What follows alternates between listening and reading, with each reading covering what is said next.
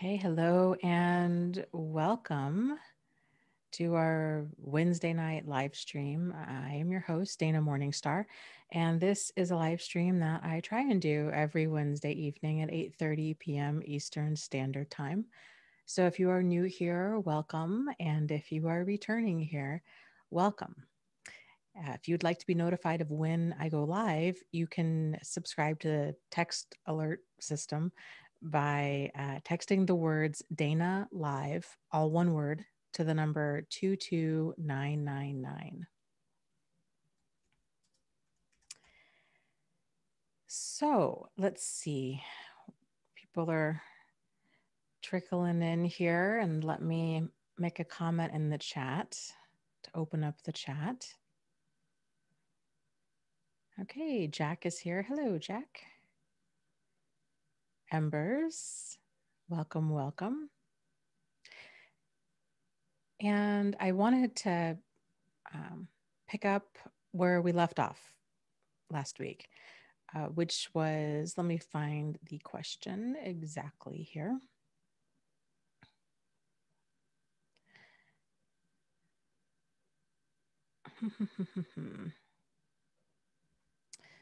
So, okay, so the question we left off with last week was uh, basically could I speak a little bit about dissociative identity disorder and whether it's possible to get it after narcissistic abuse? So, um, okay, so kind of some of the prevailing thoughts on dissociative identity disorder is it's it's thought to stem and I and when I say thought to stem, like 99, probably possibly even greater than 99% of the cases of it stem from um, re, repeating or recurrent uh, childhood trauma, generally before the person is of the age of six.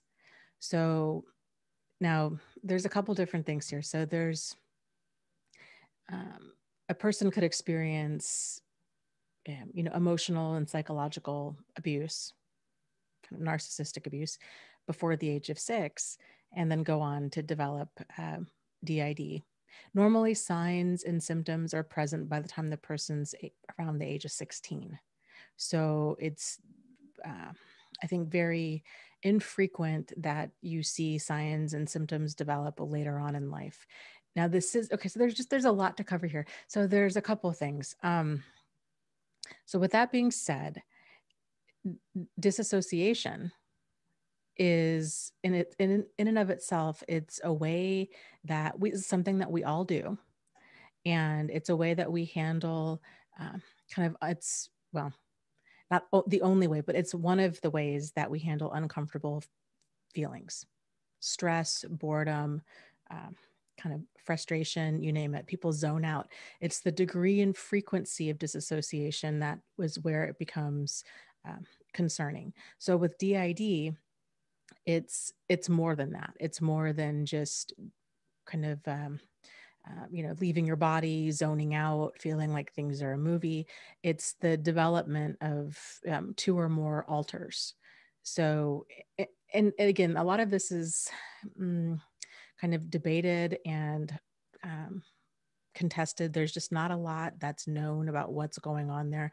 Some schools of thought, and this is kind of where I tend to lean into, is that it's not necessarily that the alters that develop that it's all it's all parts of the same self that it's different parts of that self that surface and in order to um, kind of respond to the challenges of life. So, so that's kind of what makes DID unique and different compared to, to regular kind of run of the mill disassociation. Um, and now disassociation to also to um, an abnormal degree is very common with PTSD and or PTSD I should say, like PTSD like responses. So after a, a, traumatic event, whatever that event might be, could be house fire, could be car accident, could be uh, an abusive relationship, it could be a one time thing, it could be an ongoing thing. Um, when some form of unprocessed trauma is present, a person's going to be responding to that more likely than not. And they're, they're probably going to experience things that they haven't experienced before uh, because it's out of the it's out of the ordinary. They don't have um, kind of that learned skill set with how to handle uh, extreme extreme stress that goes along with trauma like that. So um, with that said with most traumatic things symptoms tend to um, kind of settle down. There's that initial like kind of uh, kind of spiking period that lasts maybe a couple weeks after the event where a person feel they're very not not present they're um, they're feeling like their life they feel out of their body they feel like things are just very surreal they don't know what's going on they don't remember what they're doing or how they got there. It, it's just it's very feeling very discombobulated. Uh, with ptsd that it's it's longer lasting. So feeling that way, you know, like let's say after after 9-11 or uh, um, especially, I think probably a lot of people experienced that feeling of everything was just incredibly surreal. Um, on a um, a personal note, when I had I was in a house fire a couple years ago, and one of and I thought I was was I thought I was okay. like I knew it was traumatic, but I didn't realize kind of that I was in shock and that I was disassociating as much as I was. And there was one time where I went to an event and I walked in the door and I was talking to the the gal at the front desk and I looked down and I I was I wasn't dressed appropriately at all. Like I had on um, kind of these I don't know, these shorts that I've owned forever that are all ratty. They're super comfortable. They're, they have holes in them. They're all ratty. And I was wearing flip flops and it was just because I hadn't looked at the bottom half of my body. I was getting ready and was, you know, and I was I was just so apologetic. I'm like, I am so sorry. I I don't I'm so sorry to show up like this. Um, I don't know what I was thinking. And then I realized I don't really have any other clothes. Like everything's gone. So it, it was it was just very very surreal. So that that kind of level. But then those some those that level of, of shock uh, and feeling disconnected and yeah very fragmented that settled down in in a couple weeks. So ptsd it does not. And ptsd there's also other symptoms besides disassociation with ptsd so i guess the the point i'm trying to make is for if if um, reoccurrent childhood trauma isn't present and you're feeling uh, this level of like fragmentation things are very surreal um, you know all of that after traumatic event as an adult there's a good chance that there's some ptsd present. And um, um, one of the things with ptsd too is research has shown that the uh, the kind of the sooner a person gets treatment after trauma the better the outcomes are and one of the probably um, one of the um, like more highly touted uh, therapies at this point for trauma for PTSD. It's it's a therapy known as EMDR. It's eye movement desensitization and reprocessing. The good news with this is uh, you can see some pretty significant uh, shifts in a relatively short amount of time. I'm talking within like a few sessions.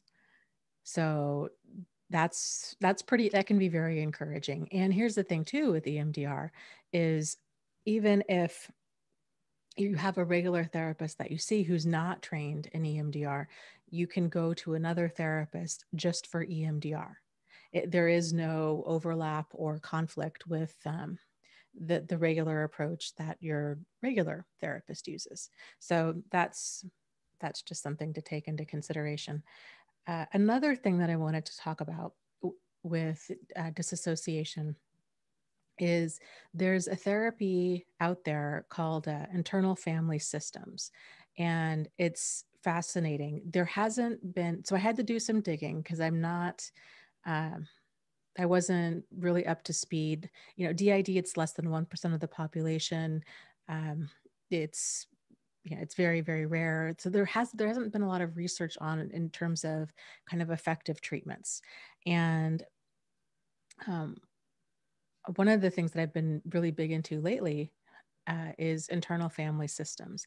And this is a therapy where a person, the approach is that we all have different parts to ourselves. And so it kind of starts off with the assumption of um, kind of the altered part of DID. So with DID, there's alters that surface. Internal family systems is we all, to some degree, have have these quote unquote alters. Um, there's different categories of ourself that surfaces. Um, we have a, there's the manager, there's the exile, and there's the firefighter. And there might there might be a couple more. It depends. There's a couple different branches of internal family systems as well. And so the whole concept behind that it's to approach it in a way in in thinking of it in a way of that it's not a, not a pathology, which I'm a I'm a big fan of. I'm a big fan of like strengths based everything. So it views it in terms of that all of these different parts of ourself surface for a reason, and that reason is to keep us safe. And now, with that said, if we have, if we're kind of over reliant on one, um, one part or you know, kind of one identity. If one identity is kind of driving the the the ship more often than the others, there's there's probably going to be problems. There's going to be things that are out of balance there. And so what makes internal family systems therapy different is you have it's just it's really cool. so it it's um helping the person to identify these these different parts of themselves and then talking to that self and figuring out okay well why is the manager present and what or what is the firefighter the firefighter is like more of the reactive emotional center. The manager it's very um, kind of task oriented um, uh, the exile is um, oh kind of like the like the lost part of ourself or the hurt part of ourself. So the, the goal with internal family systems isn't to get rid of these different selves. It's to help integrate them so that we're all that we're able to transition in and out of the appropriate self at the appropriate time and to to be able to listen to them and get the messages that we need so we can take appropriate action. Um, it's fascinating and there's been a lot of work done with internal family systems and addictions and eating disorders. So um, yeah so i guess just kind of let that be known. It's it's very uh, it's very interesting. There's like i said there's different branches different therapies that have kind of spun off from um, uh, the internal fam- like I, ifs is what it's known as internal family systems. There's a like a parts therapy. That one's a little different in that the person is um, um, coming up with the, the parts aren't clustered in uh, kind of the, those three areas of a manager, firefighter, or exile. It's the part could be, um, okay, this is my eight year old self, or this is my angsty teenager self, or this is my kind of, um, this is my no nonsense uh, boundary setting self and a person there's there's a, so there's a lot more range of of openness in terms of exploring all these different parts giving them names um, and yeah it's it's it's interesting stuff. So i hope i hope that that that that helps. And then well and i should also add with um, uh, ifs in particular it's the concept that the that the core self this deeper sense of self is remains undamaged by everything. And that it kind of moderates all of these different parts. So um yeah this kind of helps bring balance to everything especially when these different parts are integrated. So okay that's that. Then i had a question. Somebody emailed me. Um,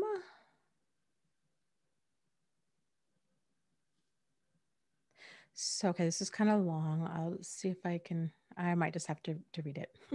but if you have a question that you would like answered in a future live stream, you can email me at dear dana at thriveafterabuse.com and let me know what name you would like for me to read on the air. So this question says Hi, Dana. I hope you're well. First and foremost, thank you for your work on narcissistic abuse. Out of the Fog and the Narcissist Playbook have been absolutely life saving tools after coming out of an abusive situation with someone that showed narcissistic and dark triad personality traits. Your work has been my survival guide, and I'm truly grateful for your advocacy. Well, thank you. Um, Last year, I crossed paths with a seemingly wonderful coworker who lived in a neighboring town. I was in a vulnerable state of mind, struggling with the loss of a friend, a family member, an OCD flare up, a distressing job, and stress surrounding the declining state of another family member's health. I fell hard and fast for the love bombing and see that I quickly became trauma bonded. Everything was as you described in your books, and I felt a true soulmate connection only a month into the quote unquote manipulation ship.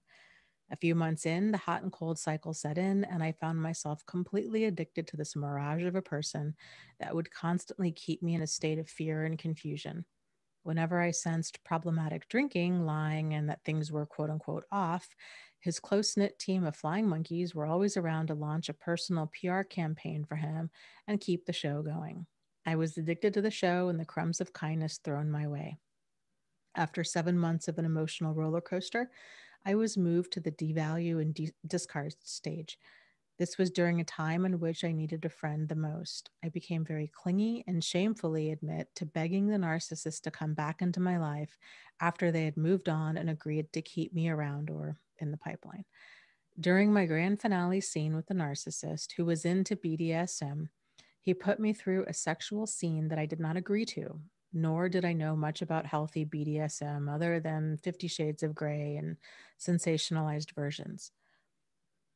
Uh, and the Fifty Shades of Grey just is out on the side is not healthy at all. It's very abusive. Uh, okay, so we had not seen each other for a month, and the narcissist was clear he'd moved on and was checking on me as a favor because he was such a good friend. I did not expect anything sexual and went into freeze mode when he went to demonstrate what I thought would be a rock climbing knot, since this was an activity we had done and practiced together. I was so paralyzed that I just let the scene happen and only remember trying to climb out of a window and asking him to leave and saying nonsensical things, all of which we were used all of which were used to evidence my weakness and how wonderful his new girlfriend was after the fact. Oh gosh. The day after, I let months of rage surrounding mistreatment explode and sent a barrage of admittedly unbecoming messages, no profanity, demanding payment for the medical expenses I would need to meet my medical deductible for an experience I felt coerced into. I received a courtesy call shortly after doing so from a police officer in the town. The narcissist lived in the neighboring town and had worked at the same company stating that I was not to contact the narcissist and could be charged with harassment if I did. When I tried to explain what happened, he said it would pass and I'd have to take it up with another police department. It later became clear that this was a family friend as it was a small town. I felt as though I was a truly awful human being and solely responsible for everything that happened. I do struggle with OCD, preoccupied anxious attachments, and my fears hurting others.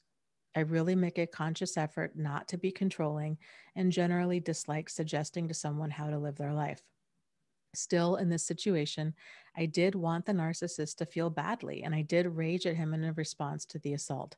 While there is a lot while there is a lot I was not aware of before the relationship and educating myself with your work, I am really struggling with realizing my part. I did go to a therapist that after a few sessions found that I was not really obtaining a lot of the clarity that I needed to be able to discern if I inherited too many problematic traits to ever think to apply healthy narcissism to a relationship. I did embrace a lot of the fleas and or problematic behaviors that were mentioned in your work. I did rage, react, and also seek to launch a smear campaign against him because I did want to show the person that hurting others was wrong all of which I now regret and feel really guilty about. Still, I am truly afraid that I inherited all of these problematic traits and cannot change and will hurt someone else. He has moved on to some other poor target, but seems so happy. I am devastated to think that maybe he was right and that I'm a manipulative, vindictive harasser. After all, a police officer did use this term against me and not him. I have tried to avoid others in fear that I will hurt them. I never intended to harass him, but I did want him to feel badly and sent many messages to try to get my point across and payment for a large medical deductible. Do you think it is possible to rid myself of the quote unquote fleas that I've inherited? I really do not want to hurt anyone ever, not intentionally. I am so sorry for my behavior. I just don't know if that's enough. I am so afraid to enter into a new relationship because I saw how unhinged I could get, and I really don't want to ever feel or behave that way again. With much gratitude, a grateful fan striving to heal and help others. Okay, so with all of that said, here here are my thoughts on this. It sounds it sounds like you were at a minimum assaulted. I don't know if this scene led to anything sexual. If it did, then that would be sexual assault. So you did not consent to it. Um, and uh, any, um, it sounds like you were coerced into it and that it led to uh, medical expenses. So it makes a lot of sense to me as to why you would feel victimized because you were victimized. And when when a person feels victimized they they feel they're full of rage.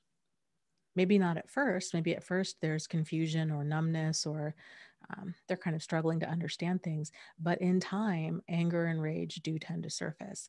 Those are normal healthy reasonable responses to being victimized so uh, and, and as far as kind of sending this barrage of text messages, wanting to um, kind of wanting him to know, like, hey, you, this really hurt me. This was, you know, you owe me money, like, kind of what the hell kind of a thing. Um, I think given this situation, that's a, it's a normal, it's a normal, understandable response. Is it, is it necessarily ideal?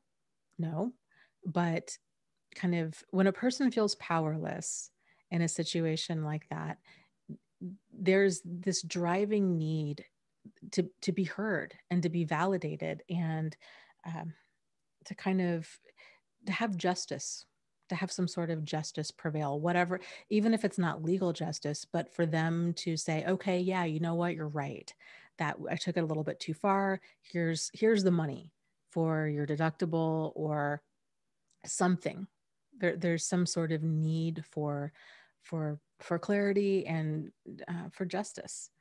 So I don't think that your response in this situation, I, I would categorize under. Actually, I know I would not categorize it under fleas because this was a one-time extreme event. It was traumatic. It was assault. You were victimized and you lashed out.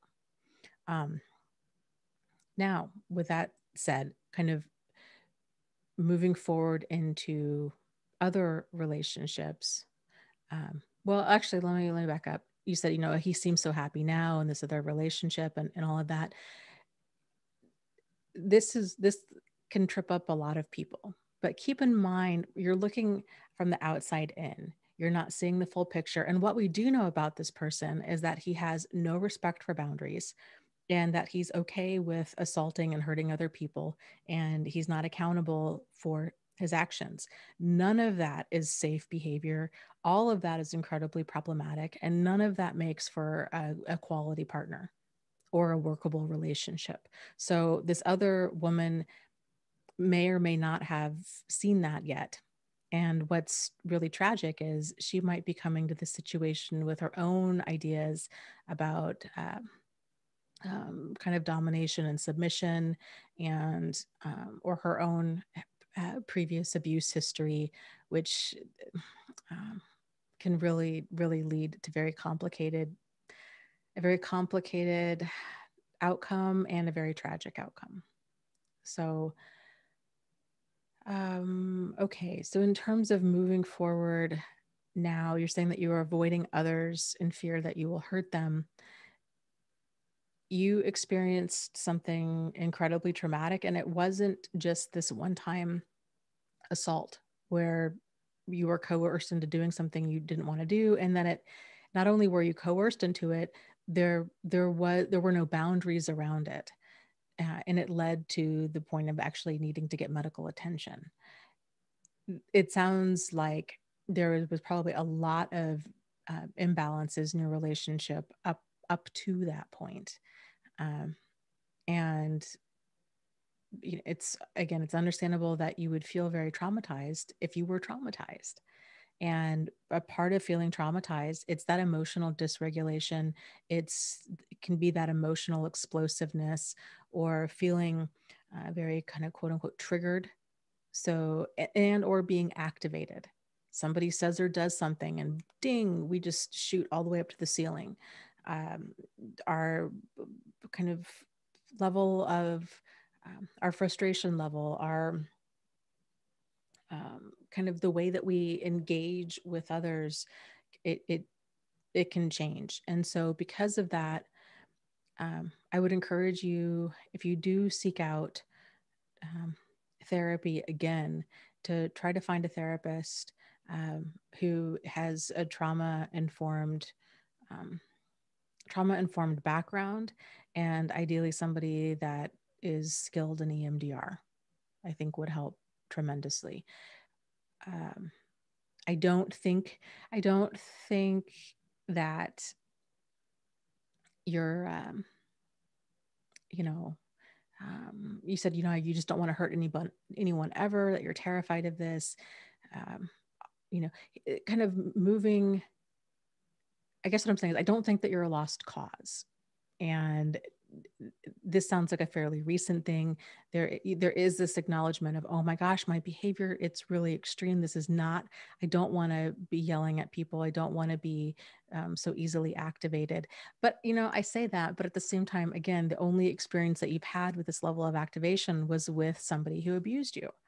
And, and that that's known as reactive abuse. And that's you know that's pretty normal. Any eh, sane reasonable balanced person has their breaking point.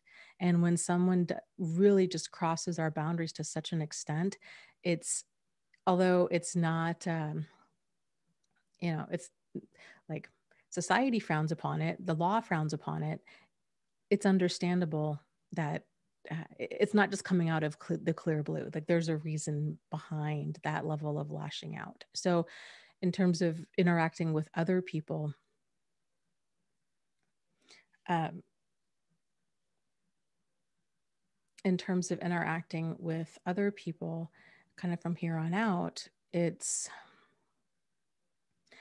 um, you know, there might be times when you do um, have a very reactive response, and that's okay that's okay. We all, I think anybody that's gone through anything that we've gone through is it, it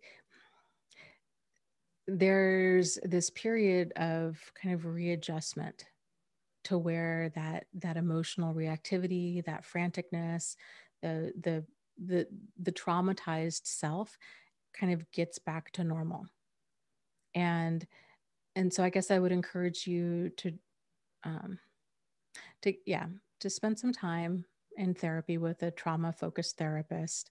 And to those people in your life if you do end up eh, brene brown calls it chandeliering where we're easily activated and then we go straight up to the the chandelier basically and we're hanging off the chandelier. If you find yourself chandeliering uh, being accountable for that. And trying to notice okay are there certain patterns here? Like what's going on? Um, that's that happened right before I felt this way. What I have noticed in my personal life is the more the more familiar you become with the language of healing. So different terms eh, different terms and concepts. Well, I should say the more you become familiar with the language of abuse and the language of healing, the more these moments of of outrage, of um, upset, of emotional dysregulation, the more you'll be able to to identify them and to to be able to understand and explain them to yourself and to others. We really struggle when we go from zero to 10 and we're like, I just don't know why. Or we're like, I don't know, I just got really angry. When there might be something deeper there, it might be like, well, you know what, this person crossed a boundary with me, or I was I wasn't feeling heard, or um, you know, I felt like they just kind of kept pushing me to do what they wanted to do. So getting getting clear on okay well what's behind that anger or frustration what was behind that activation this can take some doing because i think a lot of us kind of what um, oh kind of a re- repeating theme as uh, personality traits i should say that get us uh, into these situations or lead us to kind of stay in these situations is there's this disconnection to our to ourself that we've picked up somewhere along the line that our wants and needs, our thoughts and opinions aren't as valid as other people. We put other people's stuff first and then we turn down the volume on our own stuff. And this can be to such a concerning degree that we don't know. We don't know how we feel. We don't know, even on a physical level. It's not just emotional. It's not just, uh, um, oh, I'm angry or I'm sad or I'm glad or I'm hurt. It's, I also don't know how I feel physically. I'm not quite sure if I really am in pain unless it's extreme. Uh, but we have a hard time kind of just being in tune with um, with ourselves. And that's a process that takes time. So i would just encourage you to give yourself the compassion and grace for um, kind of for where you are and handling things the best way that you could at the time. And uh, yeah, reaching out for some support. Another thought too would be to call a local domestic violence agency and to talk to them. So they oftentimes offer um, generally free free therapy they have a lot of resources out there they might even be able to actually most domestic violence agencies can even help with medical bills so i would encourage you to call them and and see so good luck with all that. And thank you so much for, for, for sharing your experience. I hope that, um, I hope that something I said was able to, to help. So, okay, so let's see with this, let's scroll back into, scroll back. Let's go hop back into the chat.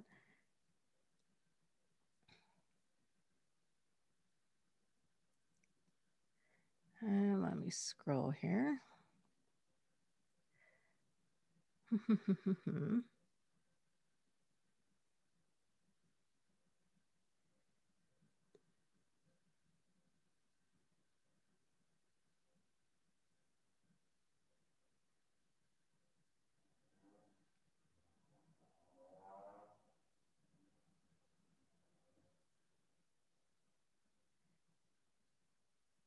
Uh, Big D says, I did EMDR. I felt horrible at first after doing a session, but I felt the best I have after a week or two. So, you know, you bring up a really great point, and that with EMDR, process and really most therapy in general processing doesn't just stop at the end of the session processing conti- especially with emdr continues afterwards so um, having kind of vivid bizarre strange dreams is not an un, unheard of. Uh, mm, kind of just th- that level of processing continues for um, the at the you know generally at a more intense level a few days after the session generally that night. And then uh, yeah so it's not uncommon for um, for that. So i'm i'm really glad that you brought that up. Because a lot of people will come back and they're uh, they'll they're shocked of like oh my gosh i uh, kind of this is something that's different or i i responded to this certain event in a different way and um, i had this thought or man i was having some really wild dreams you know or um, yeah and that's just kind of the processing. The brain is a fascinating thing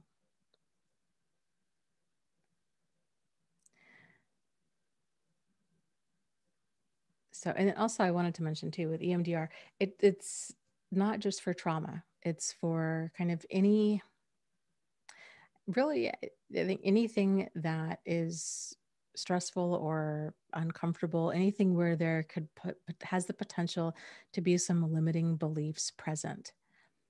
Um, that can be done, that can be addressed in EMDR. It's pretty cool stuff, I have to say.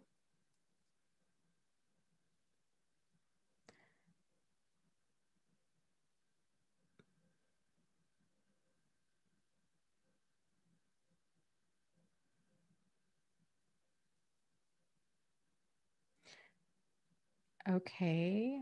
And Rosie, so Huffle Mom struggles with DID. And so one of her alters name is Rosie. And okay, so Rosie was saying, uh, My mama is the one in charge of our headspace. What she says goes. I don't always like it, but I do what she says because I want to be a good girl. Yes. Well, welcome. Welcome here. It's it's fascinating these different parts parts of ourselves. There can be that kind of a good girl part. There can be the the bad girl part. There can be the kind of um, you know critical parent self. Um, yeah, lot, lots of selves that can surface.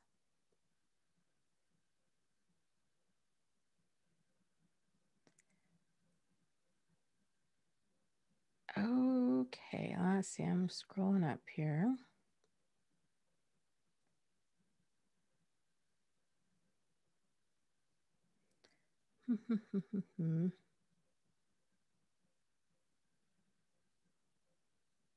Kayla says allowing a healthy outlet for uncomfortable emotions rather than denying them. Anger is a natural response to mistreatment. Not feeling anything is the problem, not your discomfort. Yes, very well said. Absolutely. There is absolutely this gift of anger. And if we can kind of change the the way that we view our emotions and realize that our emotions are there because they have a message for us.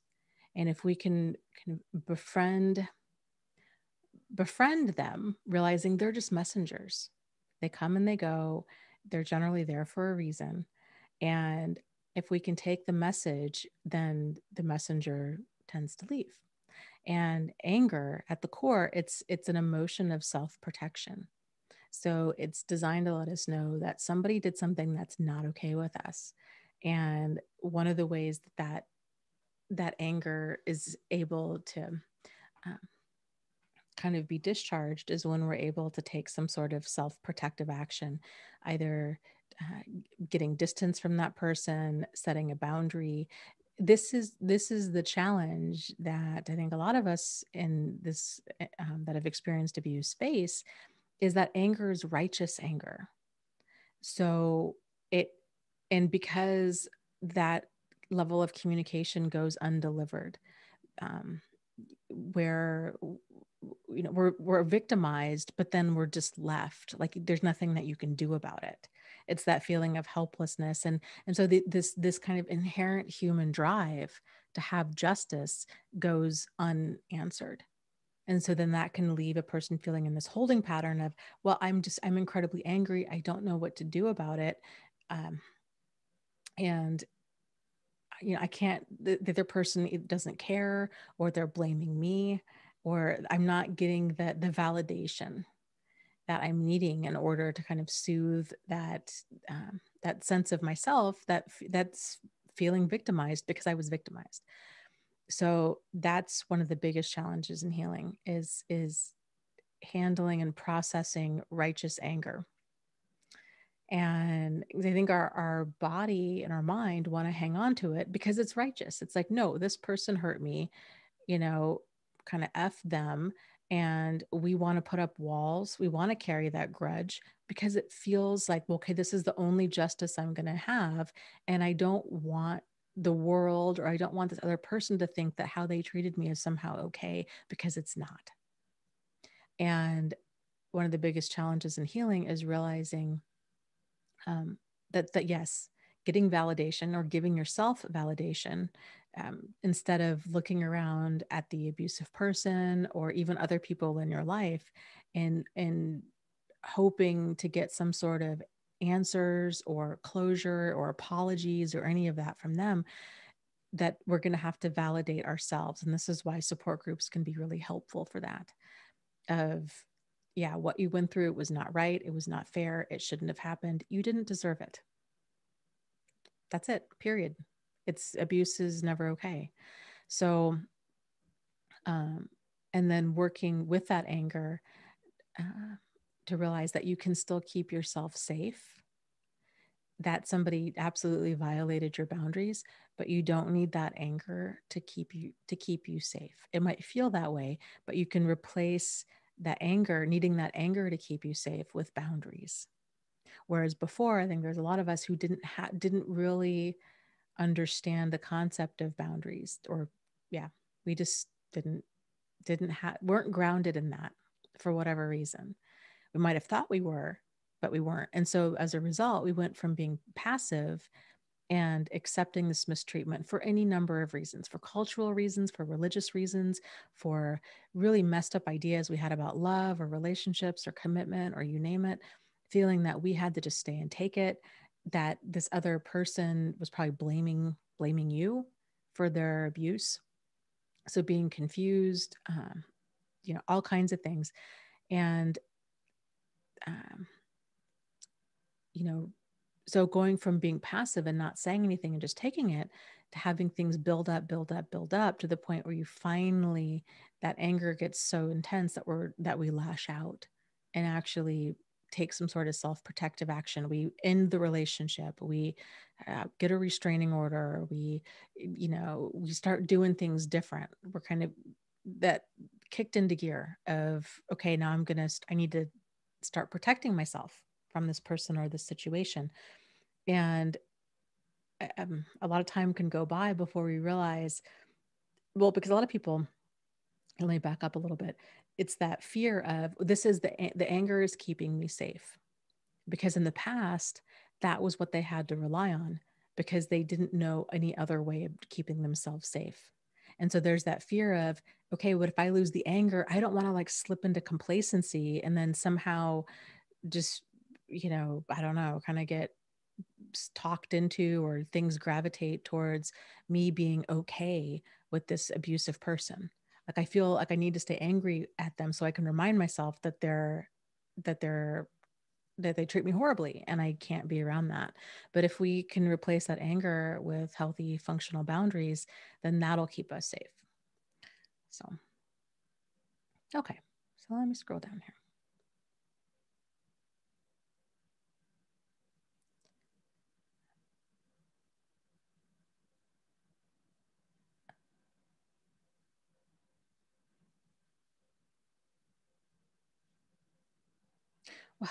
I speak my truth says, well, Dana, if you can survive a house fire, I can survive breaking a trauma bond, even if that means losing my mind or becoming an atheist or whatever it takes. Well, and I just, I guess I just want to know there are different types of, there are different types of trauma. So, um, yeah, they're just different types of trauma so I guess I'm saying that because I, I don't want you to minimize what you're going through. Um, but yeah, you can absolutely you can absolutely break it. One of the ways that I think is that helps tremendously with breaking a trauma bond um, is is to expand your support network, to kind of get out there, meet some new people. And one of the reasons I think that this works so well is with trauma bonds especially there's this this added like feeling of scarcity. So it's not only that level of intensity with that person there's also that feeling of i need them and only them and if they leave i'm going to die. Like it can just feel like that level of intensity. So kind of realizing um, in part okay that this is not true that that's more of a the kind of that's the anxiety speaking that's more of that anxious style of attachment or the anxiety that goes along with the trauma bond that that's not real life will continue you had a life before this person you will have a life after this person. Um, reminding yourself of that but then also hopefully when kind of the world starts to return more towards normal joining meetup groups and getting out there. I'm not encouraging anybody to date but getting out there meeting new people can really reinforce that idea of your life isn't going to doesn't start and stop with this other person or with this relationship. Like there are other relationships possible out there with actual quality people. So it it helps tremendously. It's the anxiety part of the trauma bond i think is probably one of the the toughest parts of that to break because it can just man, it just can really just grab a hold of your brain and it can feel so real. Just it's that level of kind of unhinged neediness of, um, you know, where you're kind of stalking that person online or you're wanting, you're checking your phone every five minutes or you're, you're feeling like I need them and only them. Um, but yeah, it helps to just ground yourself, realizing, you know what, you had a life before this person, you will have a life after this person. This isn't the, a relationship that's a kind of once in your lifetime, it's just a relationship in your lifetime. There will be others out there. And that this is, this was not, this is not something that's quality. It's not worth, hang, worth hanging on to.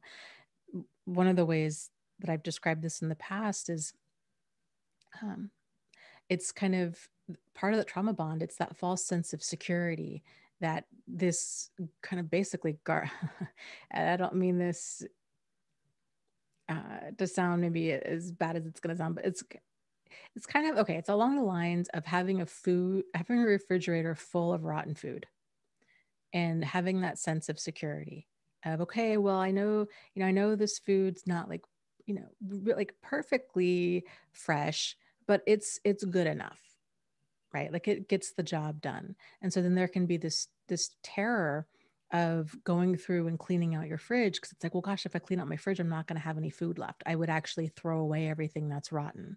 And i don't want to do that because i don't know when i'm going to be able to go shopping next. So i better keep all of this rotten food in there just in case. It's a, kind of like the brain does the same thing with trauma bonds. Like it, it knows that this relationship is going to help you it's better than nothing kind of a thing. And so that's why with cleaning out your fridge, it helps to know, okay, you know what, I'm going to go grocery shopping tomorrow. Then your brain is more able to kind of let go and be like, okay, there's that sense of reassurance of, I will be okay. And I can toss out all the stuff that's moldy or like way expired. Um, you know, stuff that smells bad. I don't need to try to make do with this, that I will be okay and with relationships building up that social support and start in getting out there and meeting some new people. And again for right now it's you know online but hopefully not for too much longer. Even if you're not meeting like your kind of people still meeting people where there's that sense of connection. And even if they're not people that you would want to date but just going out and having a good time with people uh, making whatever connections that you're making, it just helps to relax the brain so much, especially for those that really struggle with that anxious style of attachment. And then, then when that softens up, then start working on um, moving more towards a secure attachment style and what all that involves. And that's a whole another topic. Maybe we can dive more into that next week.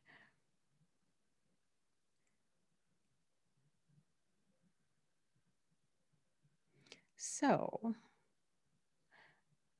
um, oh, well, good. Kayla says, I'm now 11 days no contact after months of gradually distancing. And I'm finally making breakthroughs. Making new like minded friends makes all the difference. Positive and inspired. Finally. Awesome. Yay, you. That's a huge victory. I'm just thrilled for you.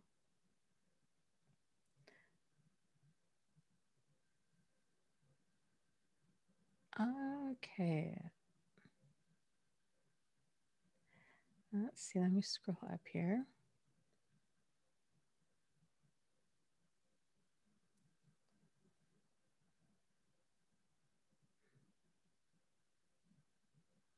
Jack mentions two uh, dialectical behavioral therapy, DBT. He says it's done quite a bit for my complex PTSD. Yeah.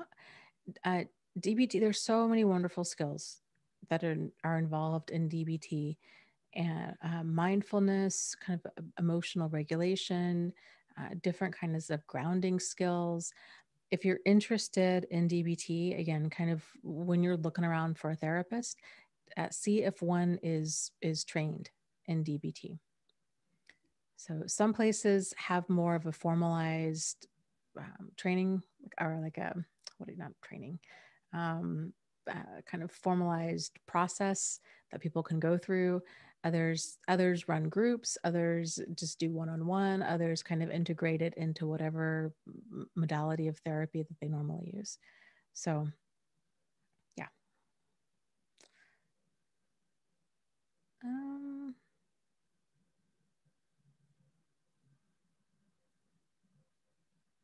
I Speak My Truth says, What do you do when you have to force yourself to move out because moving out makes you angry and detaching from them makes you so angry because you love them, yet they're unsafe.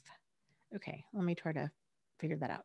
What do you do when you have to force yourself to move out?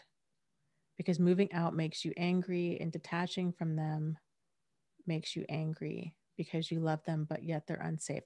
Okay, so if I understand your question correctly, it sounds like how do you handle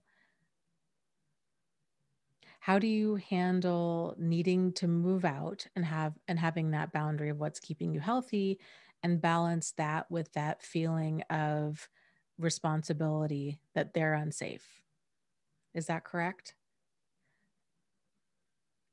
so i guess if that's correct then um, kind of realizing uh, that i guess kind of realizing that that's uh, an example of a very blurred or enmeshed boundary.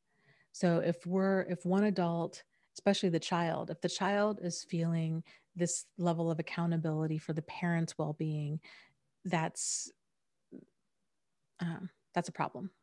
So, and it's an example, it's like I said, it's a very blurred boundary there.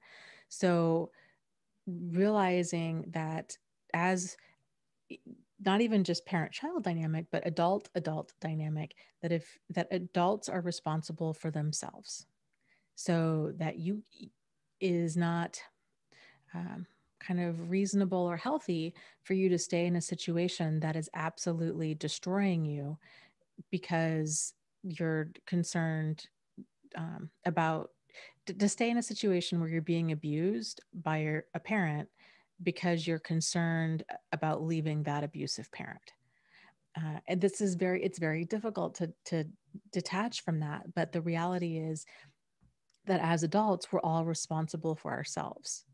And if there's something really, um, you know, pathologically, or if we're talking like mental illness or something like that that's going on with your mom, then that would warrant a call to adult protective services. But that's way outside what is um, and requires trained professionals.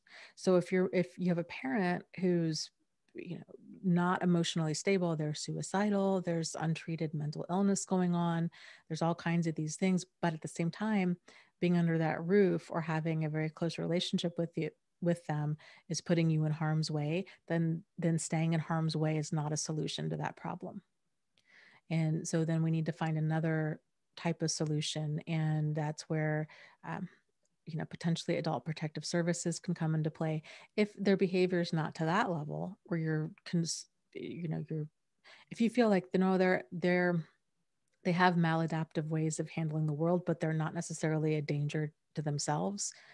Um, like they're still in reality, I guess is what I'm saying.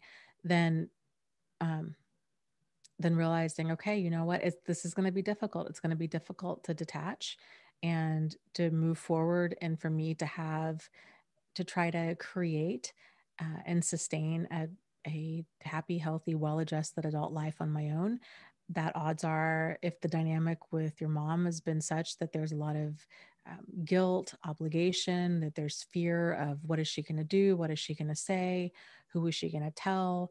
Um, you know, all of that. Realize, okay, all of these feelings are probably going to come up. And then kind of coming up with the game plan of how are you going to handle that when that happens. And also realizing that you're not responsible for her feelings. So you having, you moving out and being an adult and being on your own, it's not to punish your mom.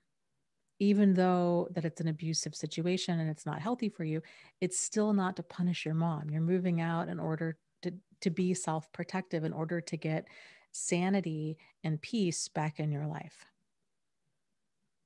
And that she's going to feel how she's going to feel about that, but that you're not responsible for her emotions.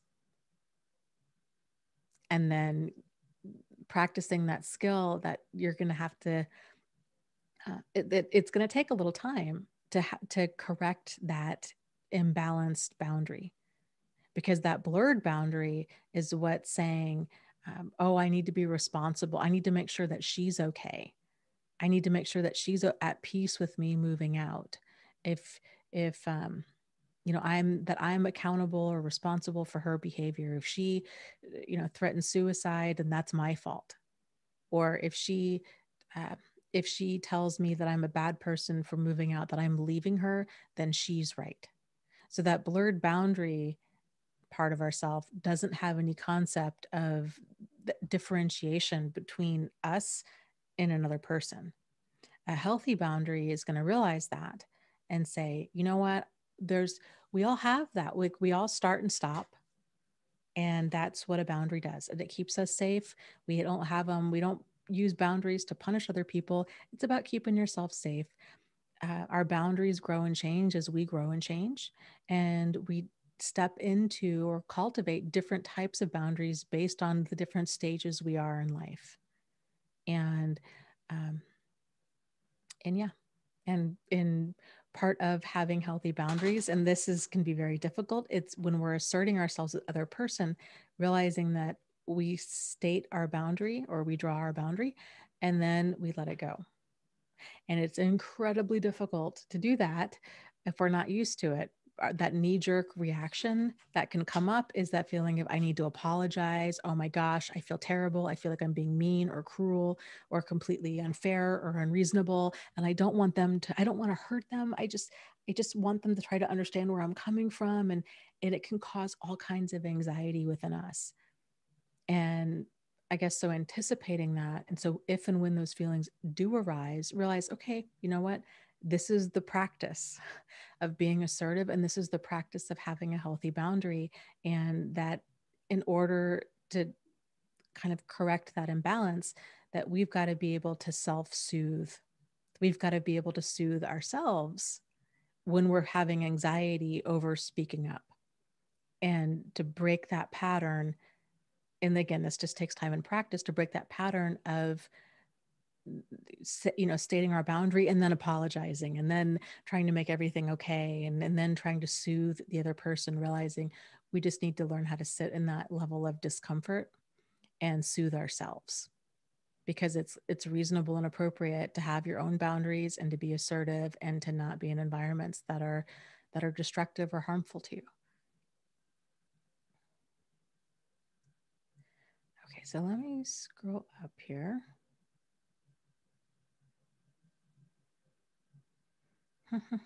Mm-hmm.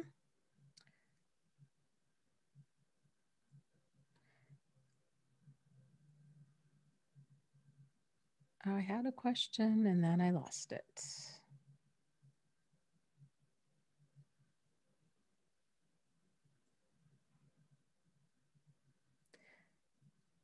Hmm, hmm, hmm.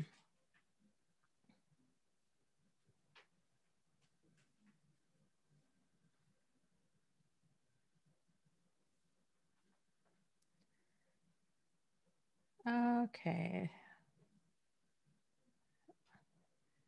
Sorry here, scrolling, scrolling.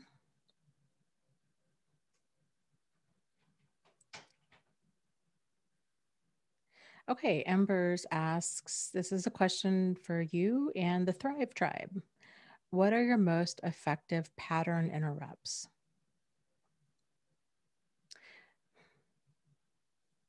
Okay, so this might seem like a small question, but you know me, it it's but it's not. So let me kind of give some context before I just answer it, okay?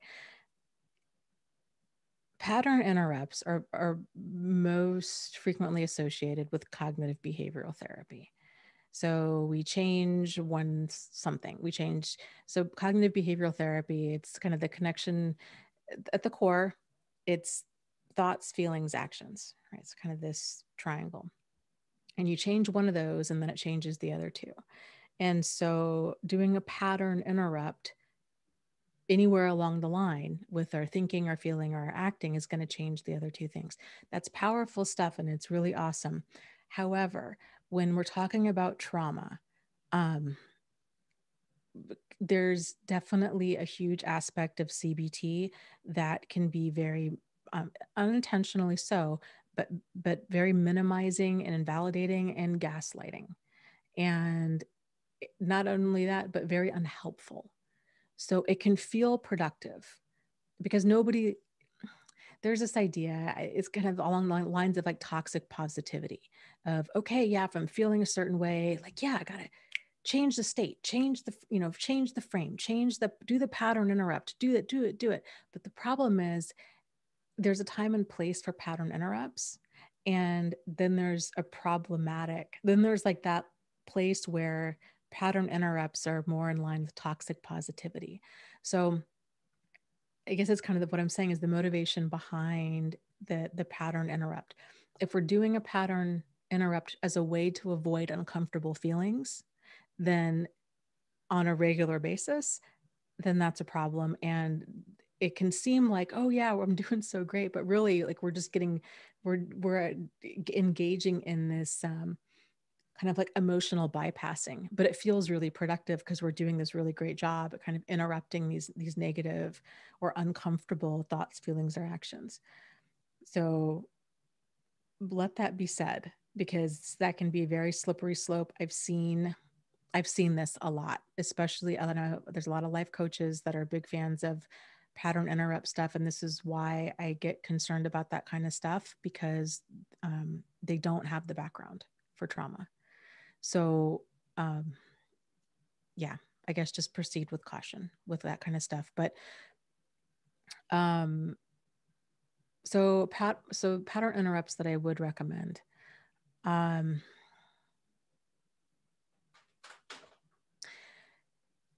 oh, it can run, it just can run the gamut. I'm a big fan. What's worked for me has been um, having a mantra. So switching out my mantra kind of throughout, you know, different parts in my life when I need I need a new one. So I'd shared before that one of the mantras I had was the best revenge is a good life. And that helped tremendously. So when I was feeling a lot of anger and resentment and rage building up um, that I would that gave me direction to steer into. And so instead of getting all caught up in like this emotional tsunami of rage, that was my kind of my lighthouse, like my like that got me out of that storm. And so I was like, okay, yes, the best revenge is a good life. And then I would I took some time to get clear on kind of what a good life looked like.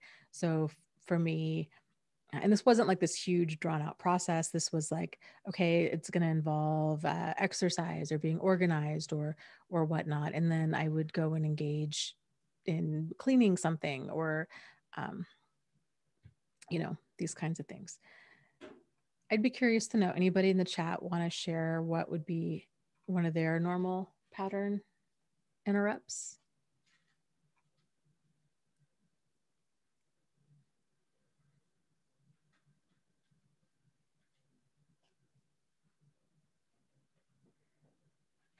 Um,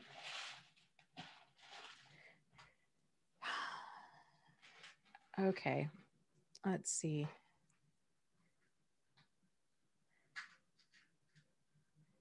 Let's scroll here.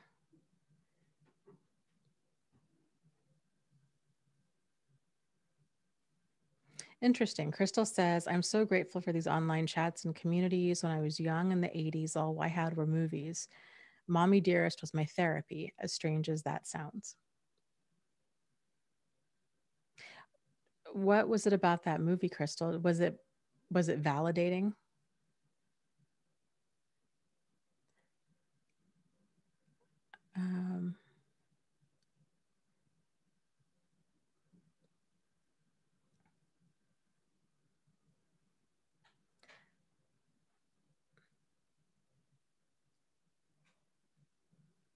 Okay, let's see. Let me scroll up here.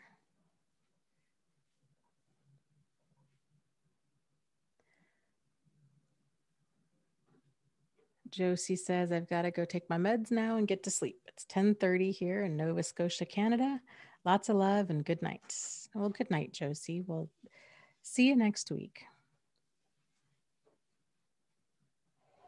Yes. And Michelle, that's a really great point. She says, you know, she says that's why it's called exercising boundaries and practicing self care. It takes repetition. You can do it.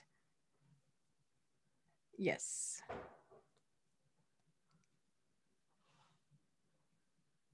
Yes, that's the thing.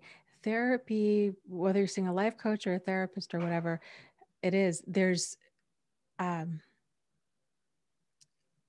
the vast majority of the work takes place outside of the session. So if you're in there for, and I don't know if that's really made clear enough, frankly.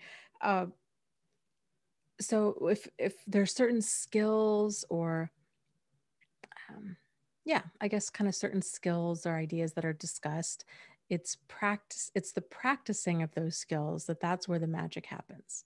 So just kind of discussing them and kind of, everything starts and stops during that hour in your session isn't going to get very far. It's the practicing of them. That's where things start to shift and you're going to realize so many more things like so you know it's one thing to kind of have the knowledge of, of of a topic of oh okay this is how i be assertive or this is what boundaries are it's totally something else to actually do it and you'll learn so much about yourself um, when you do it of kind of what comes up and um, you know fear or the feeling the need to apologize or uh, you know yeah all of that. So yep it's doing doing the work.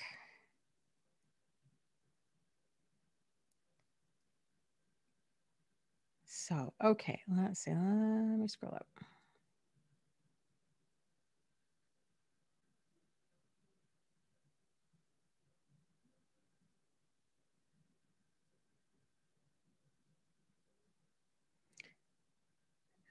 So Josie was saying, okay, in therapy, that she felt like she was getting pushed to face her fears too fast. And so she's like, I had to quit. It was giving me panic attacks. Yeah. So this is another, I guess, great point to address is that um, if you have somebody who ideally is helping you move forward and heal, whether that person, again, life coach, therapist, psychiatrist, you name it, it's important to have to have a working relationship with them. And that working relationship it, it it's important that it involves that open honest sincere solutions oriented communication to where because they don't know your inner world. And it's important that that you're able to communicate that to the best of your ability and it's important that they respect that. So if things are going too quick, especially to the point of panic attacks, that um, you know any frankly any clinician worth worth their salt is going to realize that's not that's not the goal. The goal is not to to harm the the person further. The, the goal is to help and to help them heal. Not necessarily and here's the distinction too is when when i say the goal is to help the person it's not necessarily to help them feel better it's to help them heal. That that can be two different things because helping them heal is going to involve facing a lot of uncomfortable things. However pushing that far to where it's having it's having the opposite effect where a person's having panic attacks they feel like they're they're being pushed way far outside of their comfort zone that's um, that's not the goal So you really want to make sure that when you're working with somebody, and this this is can be worth, I think, having the conversation early on with them of of all of this. You know, like, okay, I these are some things that I want to work on. Most clinicians that are trauma informed, most clinicians in general, again, if they're if you know they're any good they're going to understand you know, people get into therapy it's scary. It's hard to pick up the phone and make that first appointment. It's even harder to show up for that first appointment and then to be vulnerable with a stranger and there can be all kinds of feelings that come up that fear of being judged that fear of losing control the fear of the unknown well, what how are they going to perceive this or how are they going to what are they going to want me to do or um, all of this and so that's why those uh, conversations are important and a, and a good clinician is going to be um, they're not going to get defensive and and fight for for their way of being or their their approach. They're going to be able to um, to be flexible because it's the the goal is to help like i said the goal is to help the client heal. It's not to further traumatize them or to um, you know to have the client lose faith in in the process. So okay so let me scroll down here.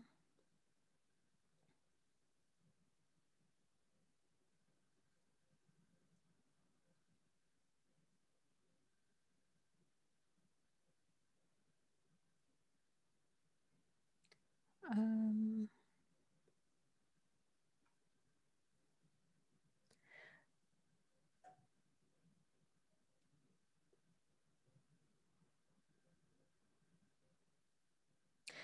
Okay, so Jennifer, hi Jennifer, says actually before I go into that, let me go back to the pattern interrupt something real quick. Kayla was saying for her, a shock of cold water is a good pattern interrupt. She said that's my most reliable one. That's a good one. Another one, I think this is a Zig Ziglar. If you guys remember him from way back in the day, um, I'm pretty sure it was him.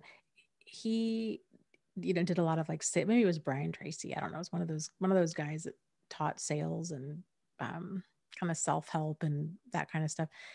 But it was if if a negative thought or kind of a limiting belief, I should say, if a limiting belief surfaced, like oh you'll that that's you know um, why would that person uh, listen to you or why would they buy from you or you're not good enough or anytime any limiting belief came up he would say you say the phrase cancel cancel. And so that would kind of shake you out of it and like oh yeah okay that's a limiting belief. And then just bringing that awareness to it is, a huge first step huge huge first step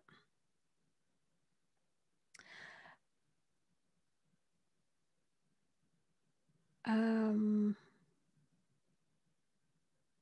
Jennifer says, I've had such a problem with that where I would be engaged in therapy, but then I would leave it afterwards. I think that's because I don't really go out anymore and I fortress myself. COVID doesn't help. And at work, I work in customer service, so it's all about the customer. It's very hard to practice assertiveness, decision-making skills, being social, boundary making, etc., when all I do is work, sleep, eat, and repeat. That can be challenging. I will say so kind of given the limitations of of that uh, one idea would be to do some role playing with your therapist. So and you could do it either way.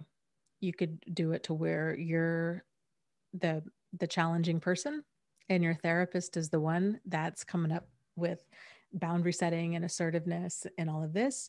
And then so she can kind of role model for you um, some ways of, of handling that. Uh, and then you can switch to where you're the the one who's having to come up with the assertive statements, the boundary setting, handling things, and then she role plays the kind of the, the difficult or challenging person or scenario. That can be very helpful. So, and yeah, and it's and it's great because it, ideally it's one of the safest places to practice those skills is you know you know ahead of time okay there's this is very low stakes. You know your therapist knows what's going on. You know what's going on. There's that agreement there. You guys have both agreed to like okay this is going to be a safe place for to practice these skills and um, to discuss kind of what's coming up for you after practicing them. Uh, you know so you know she's not going to get mad and, and huff out or um, you know any of that because it's it's role playing so that's that's just the thought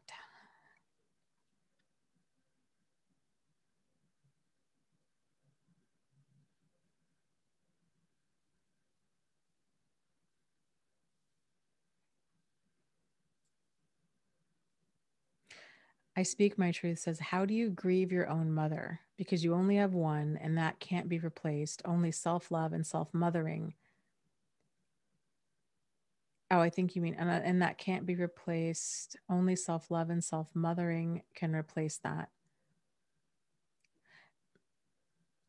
Well, okay, so it's it can be challenging to grieve somebody that's still alive and it's a different set of challenges grieving somebody that you've had a tumultuous relationship with when they when they've died. So either way it's it's it's its own set of challenges if they're still alive or if they've died.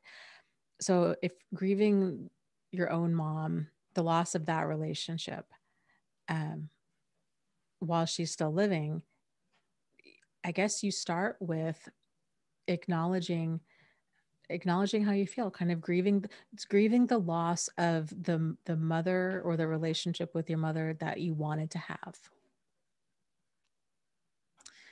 So there is a fantastic fantastic book called uh, the grief recovery handbook. Wonderful. We should do a book club on it and there's a whole process that they have in there in terms of kind of messages that keep people stuck, messages about grief, messages, um, yeah, messages about grief, kind of maladaptive messages about grief that keep people stuck. And then there's a letter writing exercise at the at the tail end. It's so incredibly powerful. It's just absolutely wonderful. So um, that might be a, a good exercise. So yeah yeah, just acknowledging to start off acknowledging thing acknowledging how you're feeling acknowledging um, things that you're frustrated about things that you're angry about things that you're hurt about things that you appreciate about her things that um, you took away from your time together both good or bad maybe it was i took away the fact that i would treat my that i never i don't deserve to be treated like that and I will not be treated like that by anybody ever again. Um, yeah. So, kind of covering all of the bases, all of that emotional territory can be very helpful. I know it might sound strange to, to talk about grieving in terms of something positive, like um, something that you're that you're appreciative of or something that positive that you're taking away from the relationship but it can help. And in the grief recovery handbook it talks about that kind of finding the balance seeing the humanness in another person. And it's not from a place of oh we need to have compassion for them or um, anything like that. It's it's it's so that we're not falling into because when people are grieving the loss of something they tend to slip into either idealizing that person like oh this person was the was an, was a saint. They were an angel. They kind of did no wrong. Or they slip into demonization. This person was absolutely horrible and kind of they did nothing right.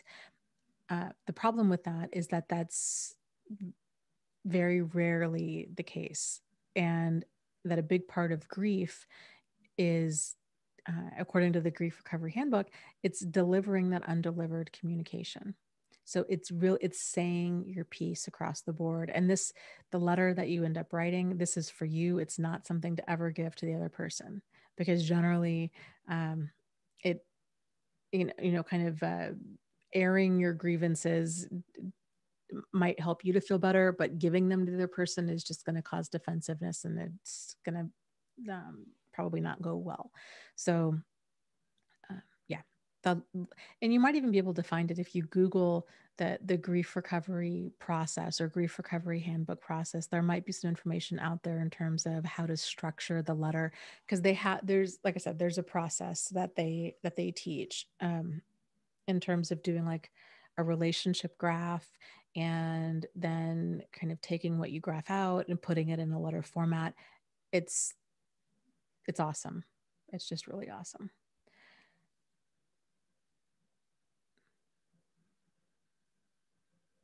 uh helpful mom mentioned is talking to kayla saying i think dana has a book list on her website I normally do, but I don't yet. We're updating the website. It was supposed to go live last month, and that didn't happen due to me. So hopefully, this will happen next week.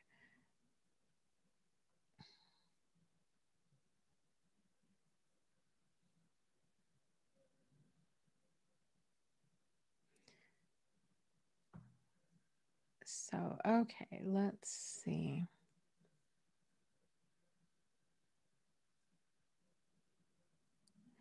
and Kayla was asking, that reminds me, is there a place where Dana and or this group has compiled a list of go-to books on any of these topics? You know, I I haven't organized my resources in terms of go-to books on any of these topics. I don't know why it's taken me 7 years to do that. I have never thought of that until you mentioned it. So I'm going to copy your comment and I'm going to make that happen because that's just sheer genius. Why I never thought of that, I don't know. But uh, yeah, yeah, that's a, a freaking fantastic idea. I'm on. I'm on it. I'm on it. Okay, let's see. Let me scroll up here. You know, okay, so Refiner was saying that she had to grieve her own mother before she passed because that she lost her to dementia a number of years before she passed. She says, mind you, this was after I had reestablished a relationship with her. And that's the thing too with with grief. Grief is a grief is its own thing, and every relationship is different. Uh, with losing a losing someone to dementia or Alzheimer's. There was a book, a very popular book that came out, gosh, a while, like several decades ago, called The Long Goodbye. And I, and it's about it's about that. It's about all kind of dementia and Alzheimer's. And the title is so appropriate because that's exactly what it is. And so the grief process, when you have a loved one, um, or even kind of a, a less than loved one or somebody that you've had a tumultuous relationship with where there is this extended uh, disease process that happens um, at the end of that there's going to be certain emotions that come up. And in everybody experiences you know all relationships are different. Uh, there is no right or wrong with it. All the, all the emotions that come up are different. Uh, but in relationships like that, or if the person has been incredibly abusive, uh, there can be a sense of relief after that. And a person can really feel uh, ashamed or like even like a monster for feeling that way like shame and embarrassment of i can't you know i feel terrible for saying that i'm relieved by this um, you know there's there's anger there's hurt there's uh, shock there's overwhelm there's there's just a lot. There's a lot when there's the, the a loss of a relationship either through a divorce or through a death or um, yeah anything in between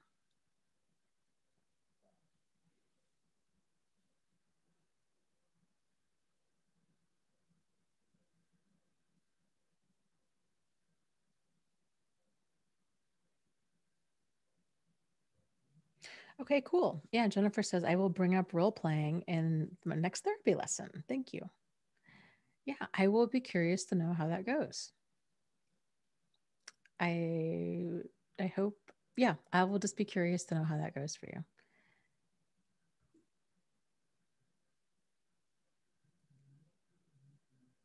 Uh, you might want Jennifer, before you go in too, uh, to think of some different scenarios in the past of problematic people or situations, you know, coworkers, uh, strangers, family, you name it. It doesn't have to all be big situations, could be big, could be small situations that you look back on and you're like, gosh, you know, I, I feel like I should have been able to handle that differently, or I'm frustrated at the way that I did handle it, or maybe you're just curious as to know how asking your therapist, how do you think, like, what could I have done differently, or how do you, uh, how do you think that this was handled? And so then that way you kind of have some scenarios, um, you know, uh, kind of prepared for your se- for your session. So she's not so kind of uh, caught off guard by by the concept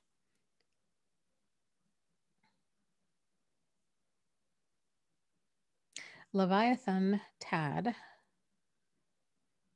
asks dana have you known of cases where emotional abusers stopped abusing or basically or does abuse um, systematically escalate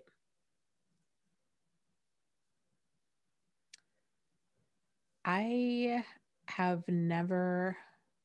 Here's the okay. Again, this is one of those questions. It's a great question. It seems like a simple answer, and it's not. So, have I seen abusive people stop abusing? I've seen abusive people change how they are abusing. And this is where I think it really takes a, a person. Uh, you know, they have like batterer intervention programs. They have, uh, you know, couples therapists, um, uh, people that are that are working with with abusive people or the survivors of abuse. If they're not really, really, really, really skilled in more subtle forms of abuse, outs if they're only familiar with physical abuse okay and a lot and frankly a lot of them are or if they're only familiar with physical abuse or verbal extreme verbal abuse. You know cussing yelling threatening uh, just harsh belittling stuff that you know if you see it if you see it unfolding in public you, most people are going to be like wow that person's a jerk like that to that level.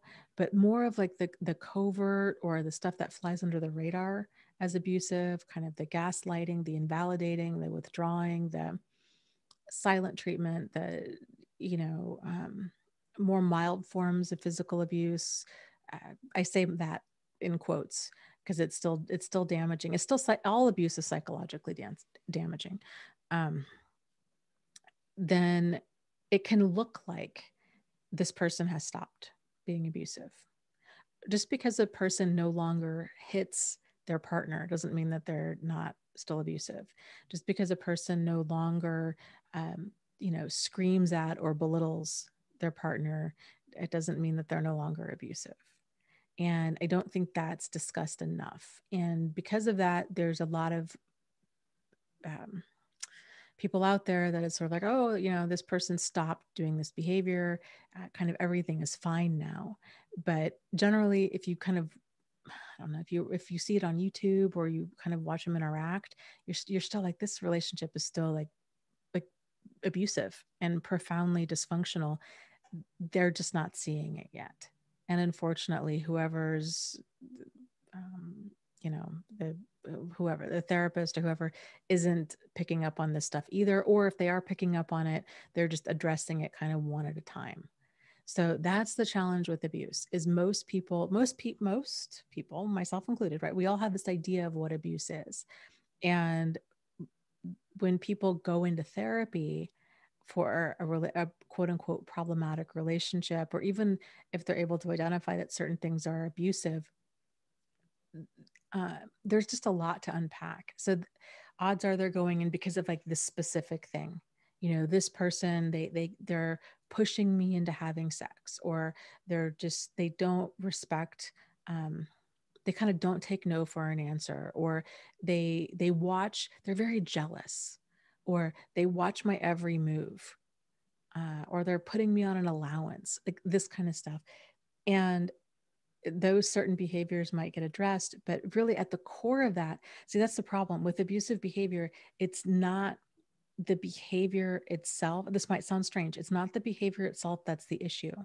It's the mindset that drives that behavior. That's the issue. And that's the power and control kind of domination over mindset. And that's deeply rooted and it the roots go everywhere it's it's long lasting so it's addressing it from the top down approach of you know it's not okay to you know hit somebody when you're frustrated. It's not okay to spit on somebody when you're frustrated. It's not okay to you know to stalk your spouse. It's not okay to you know um, verbally try to destroy them. Like it's all of that's playing whack-a-mole.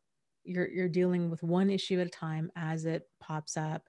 It can feel like progress but it's not. Because there's hundreds of thousands of little things waiting to pop up because it's the mindset when you're when you've got a person that has a deeply pathological and deeply dysfunctional mindset like that it's the, the way that they it's their boundaries their standards their deal breakers it's the level of entitlement it's um, the way that they view the world and their place in it that's the problem and so this is why anger management itself does not work because that's not the issue. So th- there's just a lot more to it. So have like I said, I have never seen ab- abusive people completely stop. I've seen them uh, change tactics. But again, it's challenging because being on the outside, um, you're relying so it depends on who you're working with. So like if you're working with the person who who has the abusive behavior um, the challenges are you're relying on them to self-report and their self-report of what they consider to be abusive is going to be skewed right? So if you're working with the person who's been abused again, it's the same. You're relying on them to self report what's going on. And if they're, if certain things aren't registering to them as abusive, they're, it's not going to occur to them that it's a problem or that it's abuse, that it's eh, under the same umbrella as abuse. So there's just, there's a lot of challenges with that. With that being said, if, so for a person if you're on the receiving end of abuse, I wouldn't hold my breath to wait and hope for another, for a kind of a porcupine to become a kitten. You know, most people don't. I mean, if they were to ever kind of make a change like that, you're talking a very, very, very, very, very long time because it's like I said, it's not just one behavior, it's a whole way of being. It's like a personality transplant basically and that takes a lot of work in therapy they have to be highly motivated to do it and um, and it's challenging. I mean nobody likes it's it's cha- it's frustrating and it's exhausting and it's challenging for everybody involved especially the person who is abusive um, because every every week they'd go into therapy they're basically being kind of confronted with hey this is a problem. Hey this is a problem. This is a well anybody is going to feel incredibly defensive with that and eh, there comes a point where you're like god i'm tired of being the bad guy. I'm tired of feeling attacked. Like i'm just done. So that's why they tend to shut down because it kind of feels because if they've been that way for any length of time it's this um, they might acknowledge certain things that are wrong but we all have blind spots to our personality. So odds are they don't realize how deep it stems and how much they would need to to really work on in order to um, to not be abusive. So uh, it's getting like I said, there's just a lot cutting through that defensiveness and um, and all of that can be a challenge. So if you or somebody else is on is more on the side of oh gosh you know what? I think i have i think i have this abusive behavior and this is really concerning and i want to stop being that way. Then everything that i said still holds. I do believe that change is possible but as I was saying, like there's some real barriers to change present. And if you were to to want to work on your behavior, what I would encourage you, because like I'd mentioned, self-reporting behavior uh, is it's going it's going to limit. Um, it's going to it's it's just not going to be accurate. So, what can help? And this might sound kind of strange, but if if you're wanting things to change, is to and let's say there's you know you're like gosh i really don't handle certain situations well i really want to change this behavior whatnot um, and I, I know this might sound extreme but i think it would really be helpful put cameras in your house. Let your partner know. Get on the same page with that and just say i really whenever we're disagreeing or whatever i want to have this recorded so then i can go show my therapist. And then that way your therapist has a more comprehensive picture of what's going on and that your therapist will be able to to pick out um, and then both of you or maybe even all three of you can kind of do this like post game day analysis of what happened. Uh, okay how did things get to this level? Hopefully your therapist will be able to pinpoint um, um, kind of help you increase the understanding and the vocabulary around it come up with some different ways explore explore the mindset that's behind it. But like i said most abusive people are most people with abusive behavior uh, you know it's if they know what they're doing is wrong if they feel entitled to do what they're doing then they're not going to be motivated to, to change it because they don't think they have the problem because they feel entitled and justified. If they do know that they're doing something wrong, the challenge is that they can feel incredibly defensive and ashamed. So, like I said, there's there can be a lot there. Does that that's that was a long-winded response. Does that answer does that answer your question? Ah. Okay, let's see.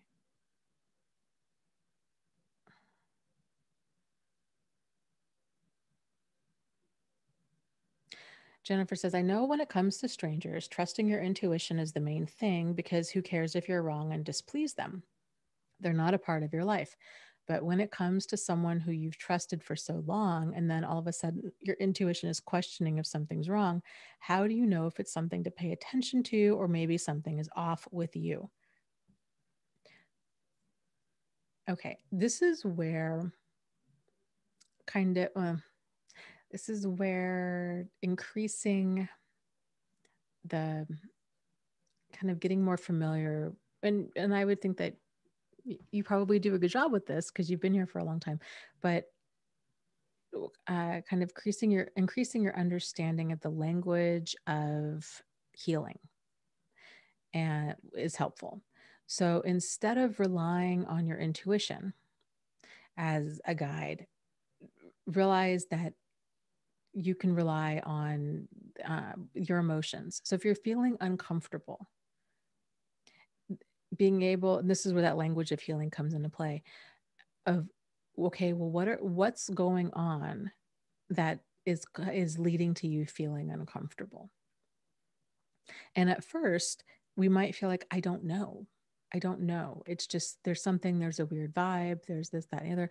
But if you kind of dig into it, a little bit more. And if we're able to increase that language of healing, we're like, mm, okay, you know what it is? It's they're staring at me a little bit too long, or they're interrupting me when I talk, or they're um, they're just kind of like following out following me out to my car or they're a little too touchy feely or they're making some comments that just that i find kind of off-putting.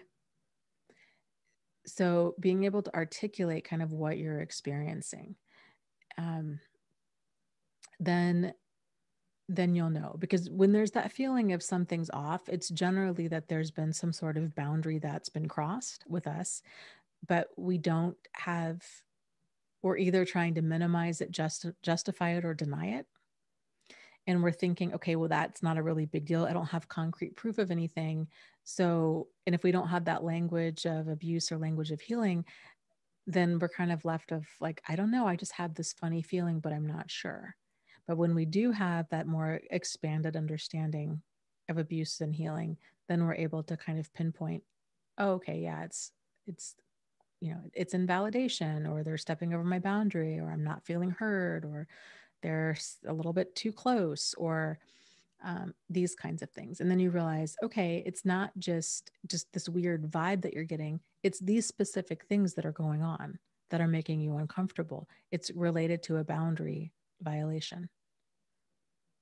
And then kind of once you're able to better pinpoint oh okay this is what's making me feel uncomfortable then you can take the steps to to do something about it. And if you've known this person for a long time this if this is new behavior um, you know at, at a minimum like you can either assert yourself or you can get some distance. That's kind of the options that we do in any in any situation and here's the thing too you know we talked about this when it comes to strangers we're you know trusting your intuition is the main thing. It's it's really not even about trusting your intuition. It's knowing that you don't need to be uncomfortable. That if you're uncomfortable then there's some sort of boundary violation that's occurring. What we don't we don't need to try to figure out that person's intentions whether frankly it doesn't matter whether they're family whether they're a friend we've had for 30 years or whether they're a complete stranger their intention really doesn't matter because our boundary is our boundary and if something is or isn't okay with you then that's that's it.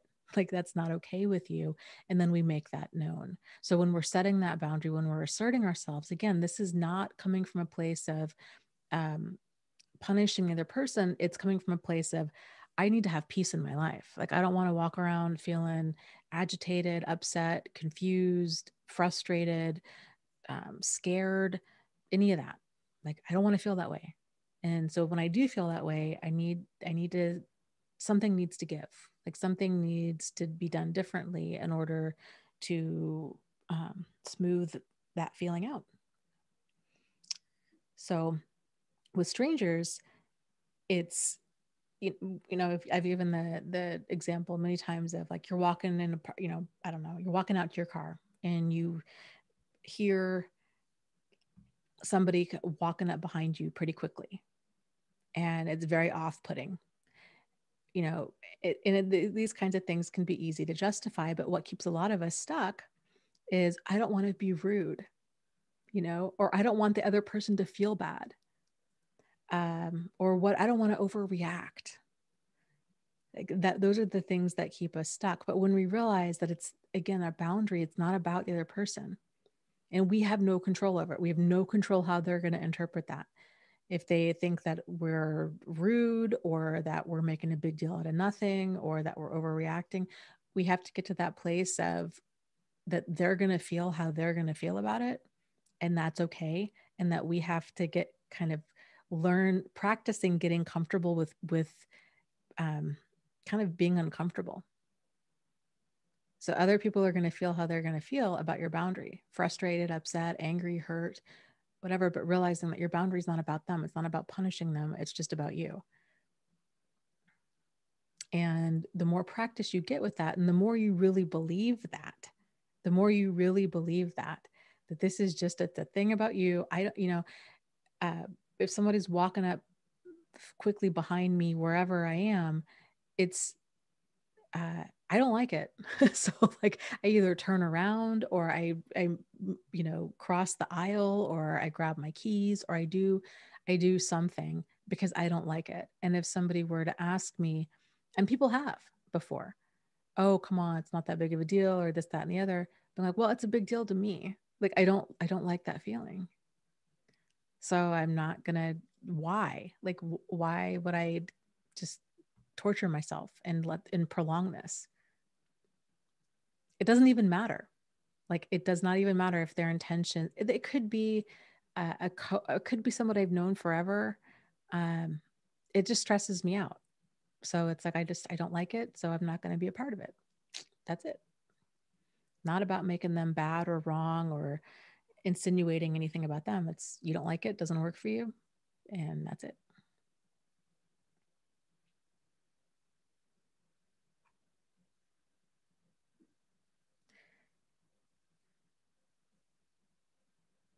Yeah, Dell says, yep, boundaries are 100% about us. Yes.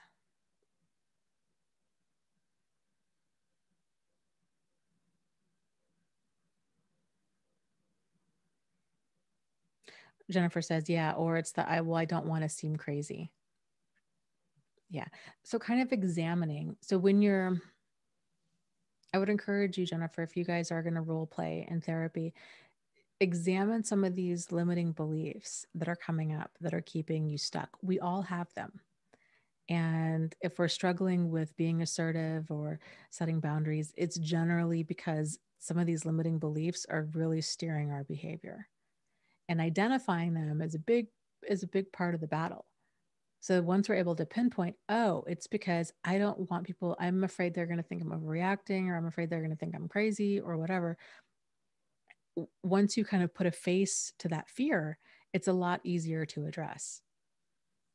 Because then it's sort of like okay then okay so let's follow that through. So what? What what happens if they do think you're overreacting what they say that hey i think you're overreacting. Oh oh you're making a big deal out of nothing. Okay. Duly noted. I mean you're they, you know, people are going to have their opinion. That's okay. It doesn't mean they're right and it doesn't mean that you have to change your approach.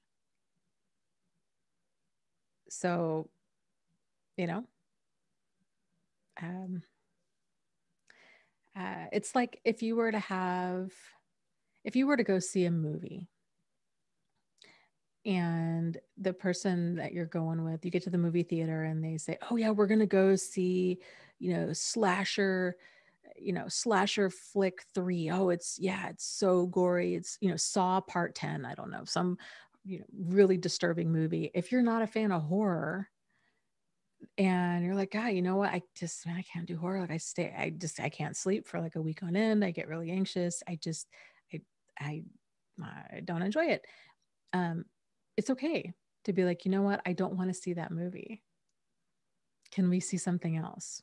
And if they're like, no, I've been waiting for like three months now to see this movie. It's a really big deal. You know, Saw 10, man, this is going to be the best one yet we've got to see it blah blah if if you're like i just i can't man like i just that's not it's not my jam like i'm going to be awake for a month after seeing this and i just that's no it's not good for me or my anxiety then if they don't want to see a different movie then you end up going and seeing your own movie you know they can think how what they want to think. Again it's not to punish them it's just to be like yeah these are some of my my limits with this kind of stuff. It can it takes time and practice to to learn to let go of needing that other people to agree with us in order to feel validated. It can be very challenging but i think realizing that there's very few times in life where all of the lights are going to be green where all of the people in your life are going to be like yes jennifer you are doing the right thing there's always going to be uh, or the vast majority time there's going to be somebody who's going to play devil's advocate or who's going to have a completely different opinion. And this is why it's so important for us to be able to validate ourselves and just and to realize, hey, you know what? This does or doesn't work for me. And so I'm going to go take this course of action. That's it. Like, don't need to argue about it, don't need to debate about it, don't need to justify it, nothing. Like, you do you. like, I'm going to go do me because I, you know, like I'm not trying to get dragged along and, and do stuff that I'm just uncomfortable with for no reason. There's no, there's no need for that. Um, okay.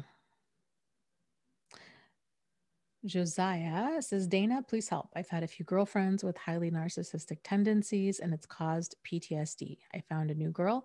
She has Asperger's, but it seems super similar to NPD. Any advice?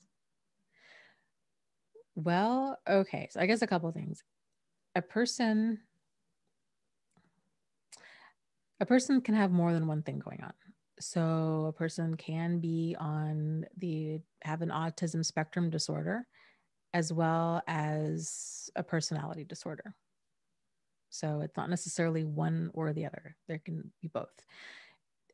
With that said, even if she doesn't have a full out personality disorder, if there's problematic traits that you're seeing there, it doesn't, it really truly doesn't matter what her diagnosis is.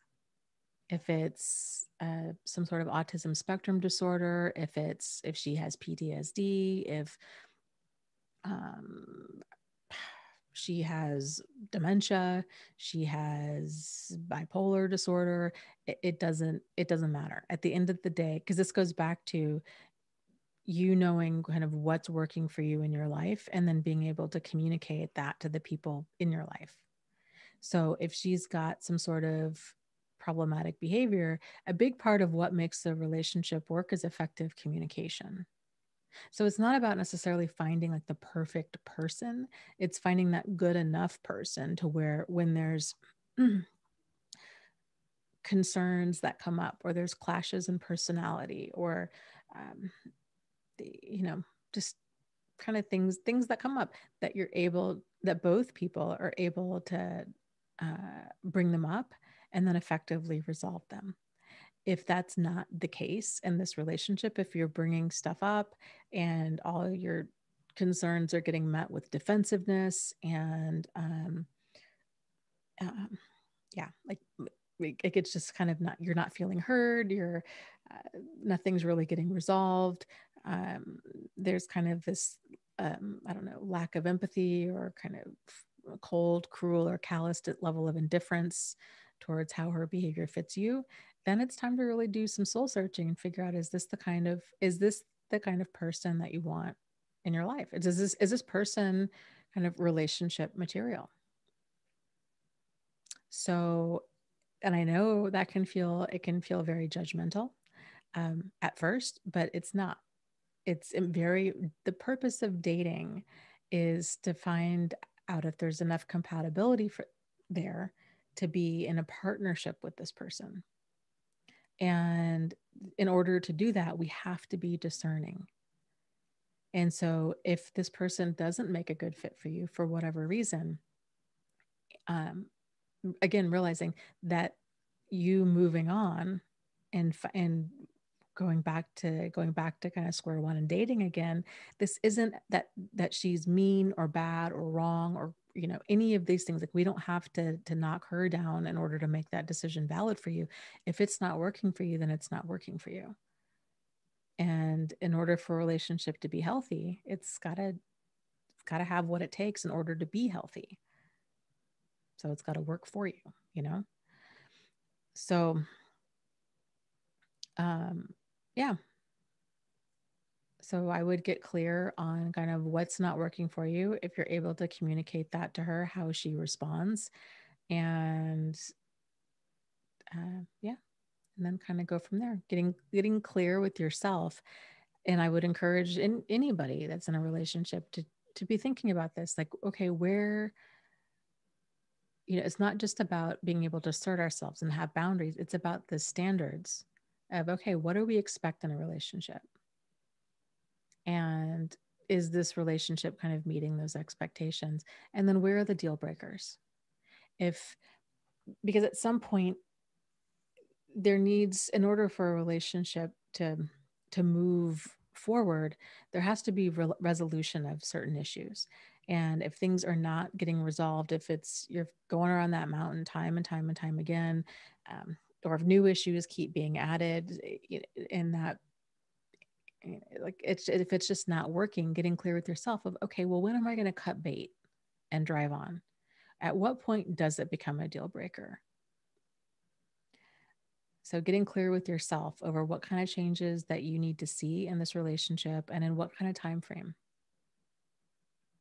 So okay let's see let me scroll up here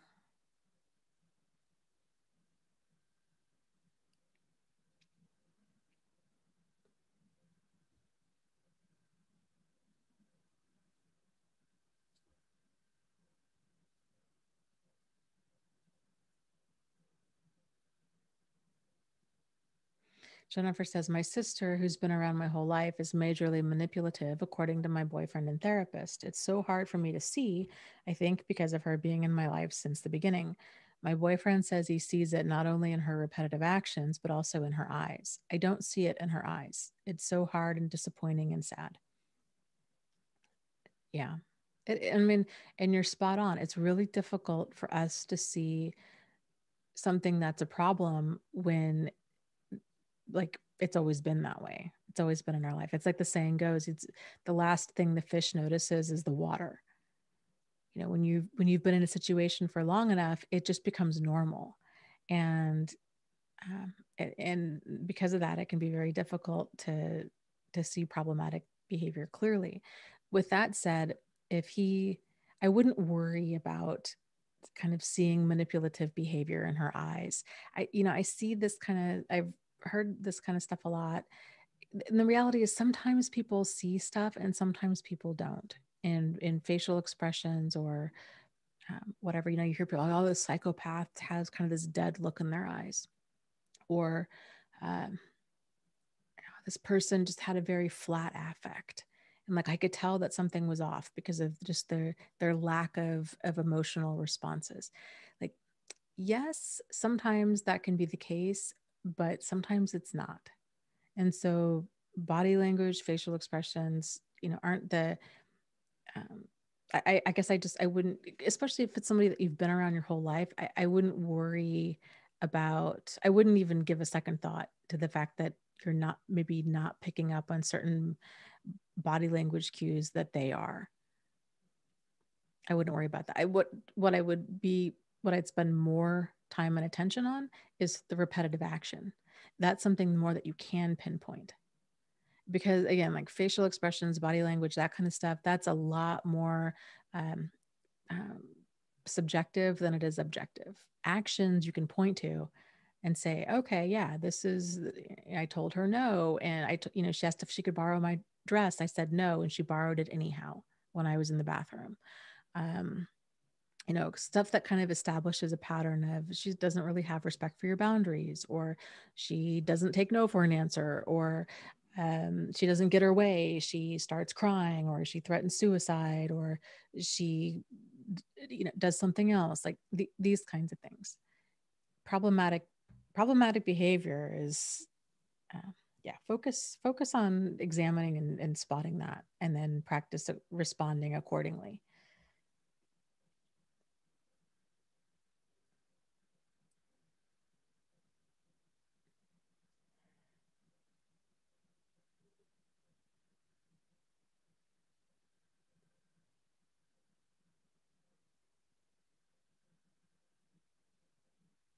Uh, Leviathan Tad says, Oh, thanks, Dana. Yeah, you were a great help. It's my ex and has been for two years now. Oh, the person, the abusive person changing. That was the original question. Uh, but how do I, be- uh, but I do believe he has suffered and is suffering for how he treated me. Well, and that might very well be. But um, this is kind of where boundaries come into play like even if the person is even if the person is remorseful this doesn't mean that you have to let them back into your life. And at a minimum before you would even like i here here's the thing relationships it's one thing we can only any person can only do so much healing outside of a relationship. Relationships have the ability to activate any one of us uh, in ways that other situations don't. The relationships that you have with a significant other um, are like way more activating than the relationships we have with the coworker or something like that. So for for that reason, a person might be you know kind of have might have this clarity like okay how i acted this was not okay and this was a problem and this that and the other.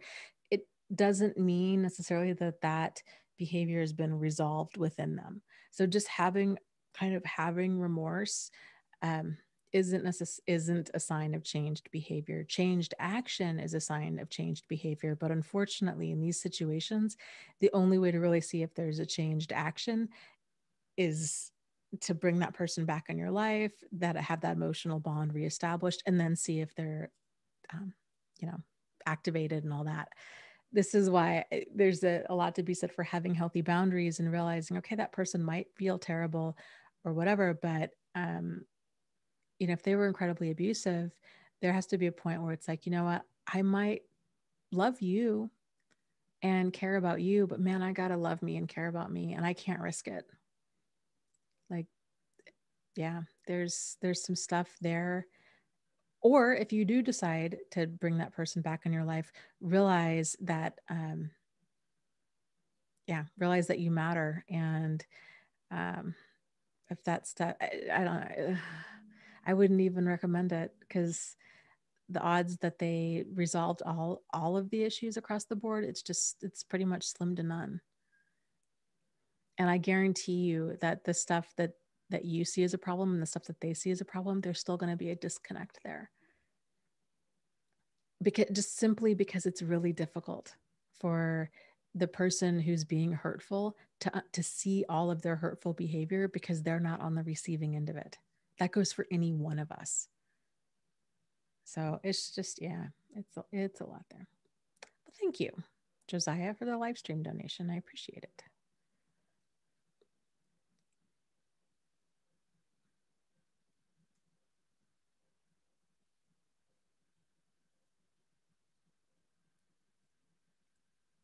Um, let's see. Let me scroll up here.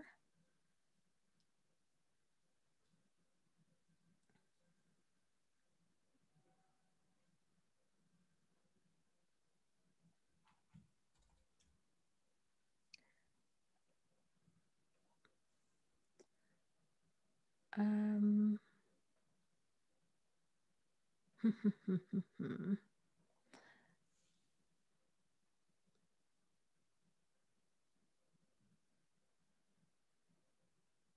scrolling, scrolling, scrolling.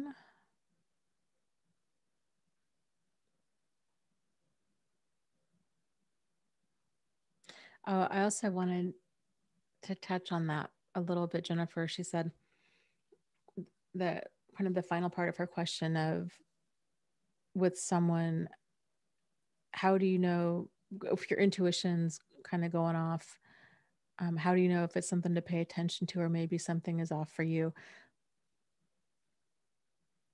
Uh, yeah. I, I guess just to kind of reiterate if if we're grounded in realizing if if we realize that we don't want to be uncomfortable and that feeling any level of kind of uncomfortable emotion, it's worth examining, it's worth addressing, especially with another person, especially if we don't feel this way around everybody. So you can kind of tell, like, okay, is there an issue? Is it me or is it them? Asking yourself, well, do you feel this way around other people? If you feel this way around, uh, like I would say lots of other people, especially people that have proven themselves to be emotionally safe in the past. If you're feeling this way around people that are emotionally safe, then it, it's something to, yeah, then it could be something within you that's worth looking at. I, I would say that that's that is more the exception by far than the norm. Like 90 probably 95% of the time, if not 99% of the time, when we're feeling uncomfortable around somebody, we tend to not feel that way all the time. We tend to not feel that way around the vast majority of people. And we do tend to feel that way around people that are doing something that's crossing some sort of boundary with us.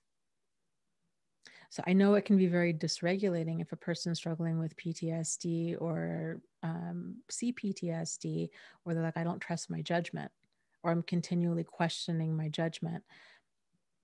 But that can be kind of a good gut check of, okay, like, who else have you felt this way around? And and even that can be a little bit challenging. So, like for example, when people are are normally reasonably close, reasonably fresh out of an abusive relationship, um, you know abusive relationships are confusing relationships and they're confusing because there's you're dealing with a pathological mindset that twists reality and it's and it's it's emotionally and psychologically abusive. Sometimes it's intentional sometimes it's not intentional. Sometimes you just get caught up in the pathology of another person who has a very skewed outlook on the world and their place in it.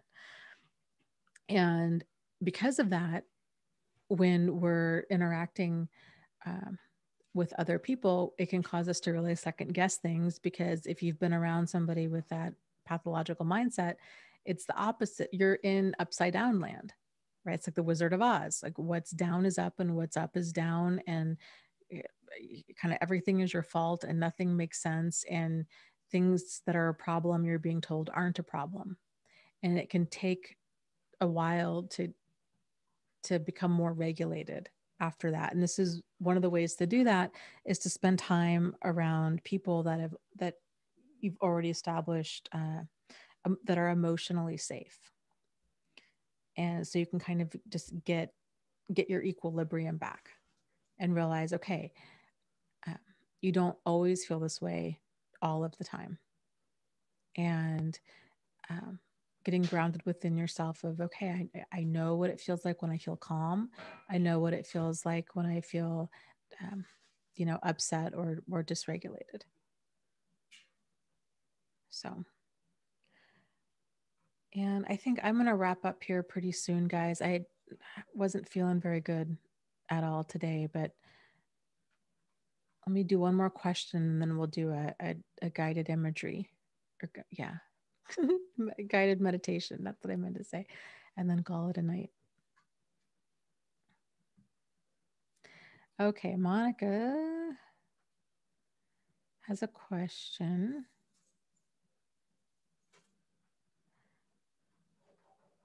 Let's see. I want to see if that is, in fact,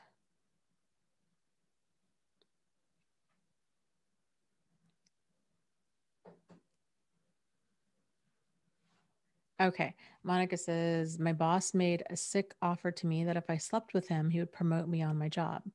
I worked for Microsoft and I made an official complaint to them. Now it's gotten so uncomfortable at my workplace. Everyone is like, Why did you make it such a big deal? Um, scroll, scroll, scroll. He brushed his hand up my skirt during a meeting, and I stood up and slapped him. Everyone thinks I made it a big deal and that he just had a playful nature, that I just overreacted.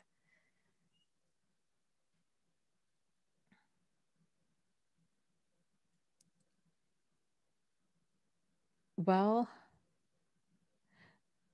um, yeah, that's horrifying that people think that, that you're making a big deal out of nothing.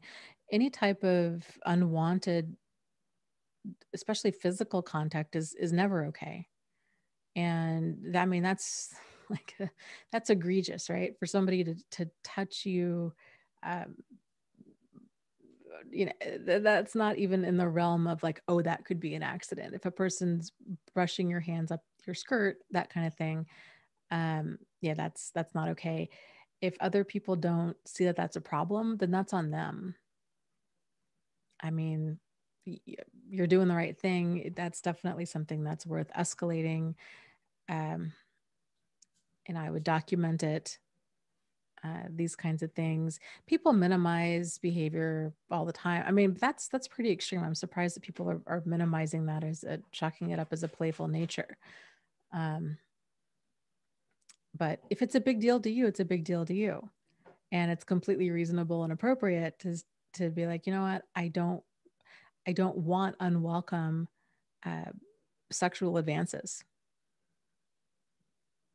I mean, this is uh, like, you know, nobody does. Nobody does. So, yeah, that's outrageous and uh, not something that can be chalked up to, to anything other than like a really egregious boundary violation. So, yeah. Oh, well, thank you. Cynthia says, thank you. And the live stream donation, I appreciate that very much.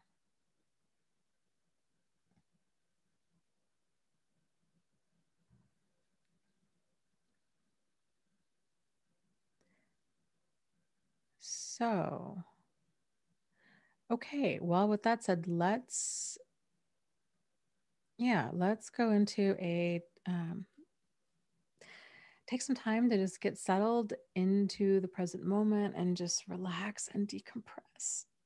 And then we'll wind down for tonight. So find a spot that is comfortable, whether you're sitting down or lying down.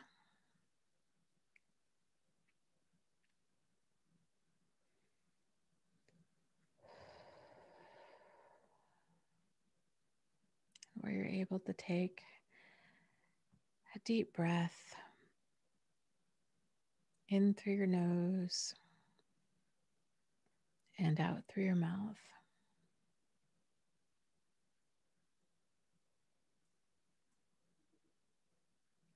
Allowing yourself to fully settle into this moment.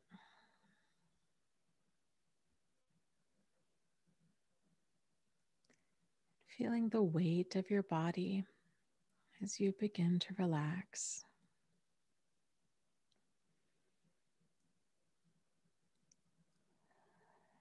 And with each breath, feeling your chest easily and effortlessly rise and fall.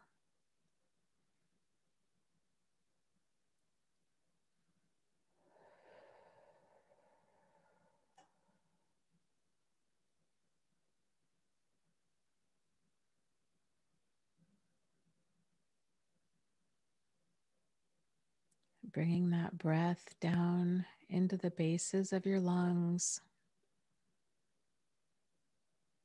and down into your stomach.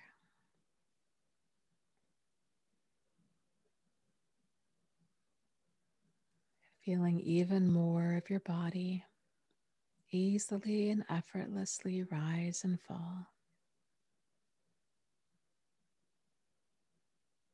And allowing that heaviness of your body to continue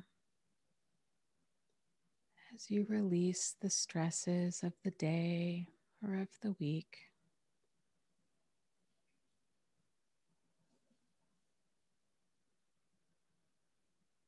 Allowing yourself to become fully present in this moment.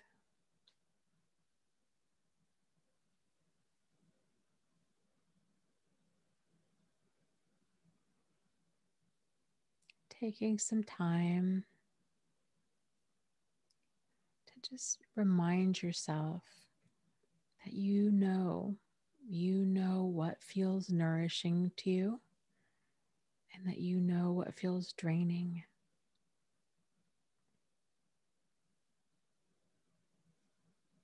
And that for the things in life that feel draining, that oftentimes these are signs of of slight imbalances, things that need some tender, loving care on your end with some boundaries.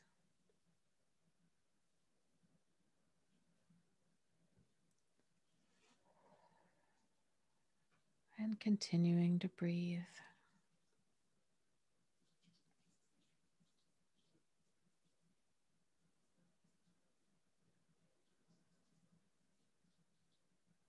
And just reminding yourself that you are worthy of protecting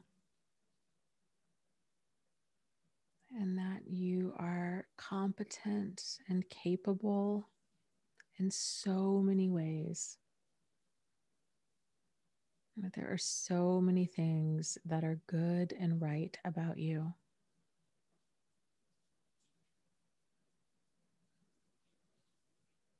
That you are worthy of living a good life, that you are worthy of having peace and sanity in your life, that you are worthy of having nourishing relationships. That you are worth protecting, that you are worth valuing and that you are worth loving.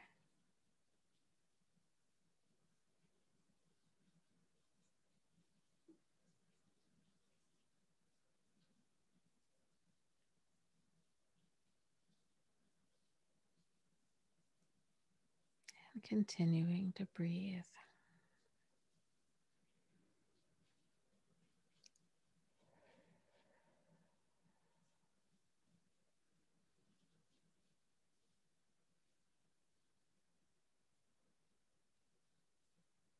You are competent. You are capable. You are a lifelong learner. There are so many things that you're doing well. You've come such a long way.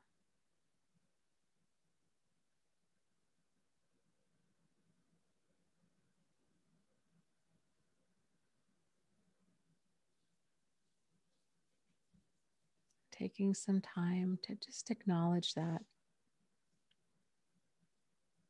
to acknowledge how far you've come.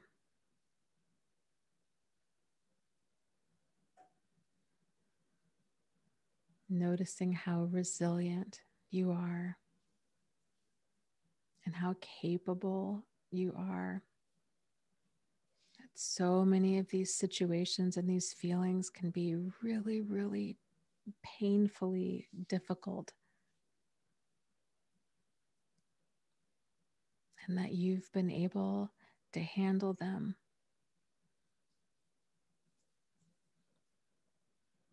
And that you've handled them in the best way that you could at the time. And that every day and every way you are growing. That your skills are growing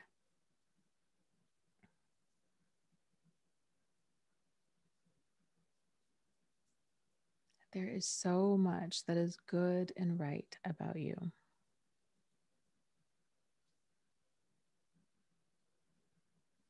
So visualize just giving yourself a big hug, knowing that you can do hard things.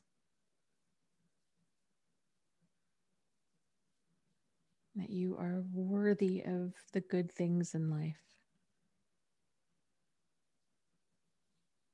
And that you are just doing a great, great job. That you've come a long way.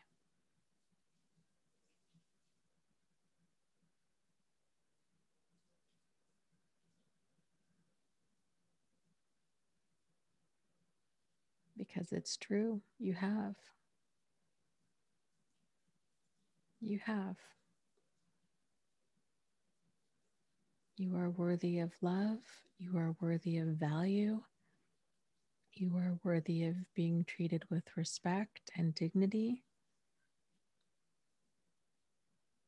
You are competent. You are capable. So many things that are good and right about you.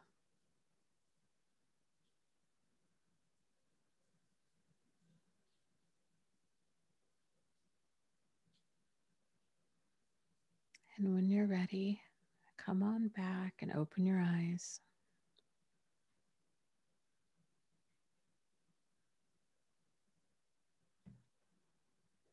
So, thank you for joining us this evening. And I hope to see you next week.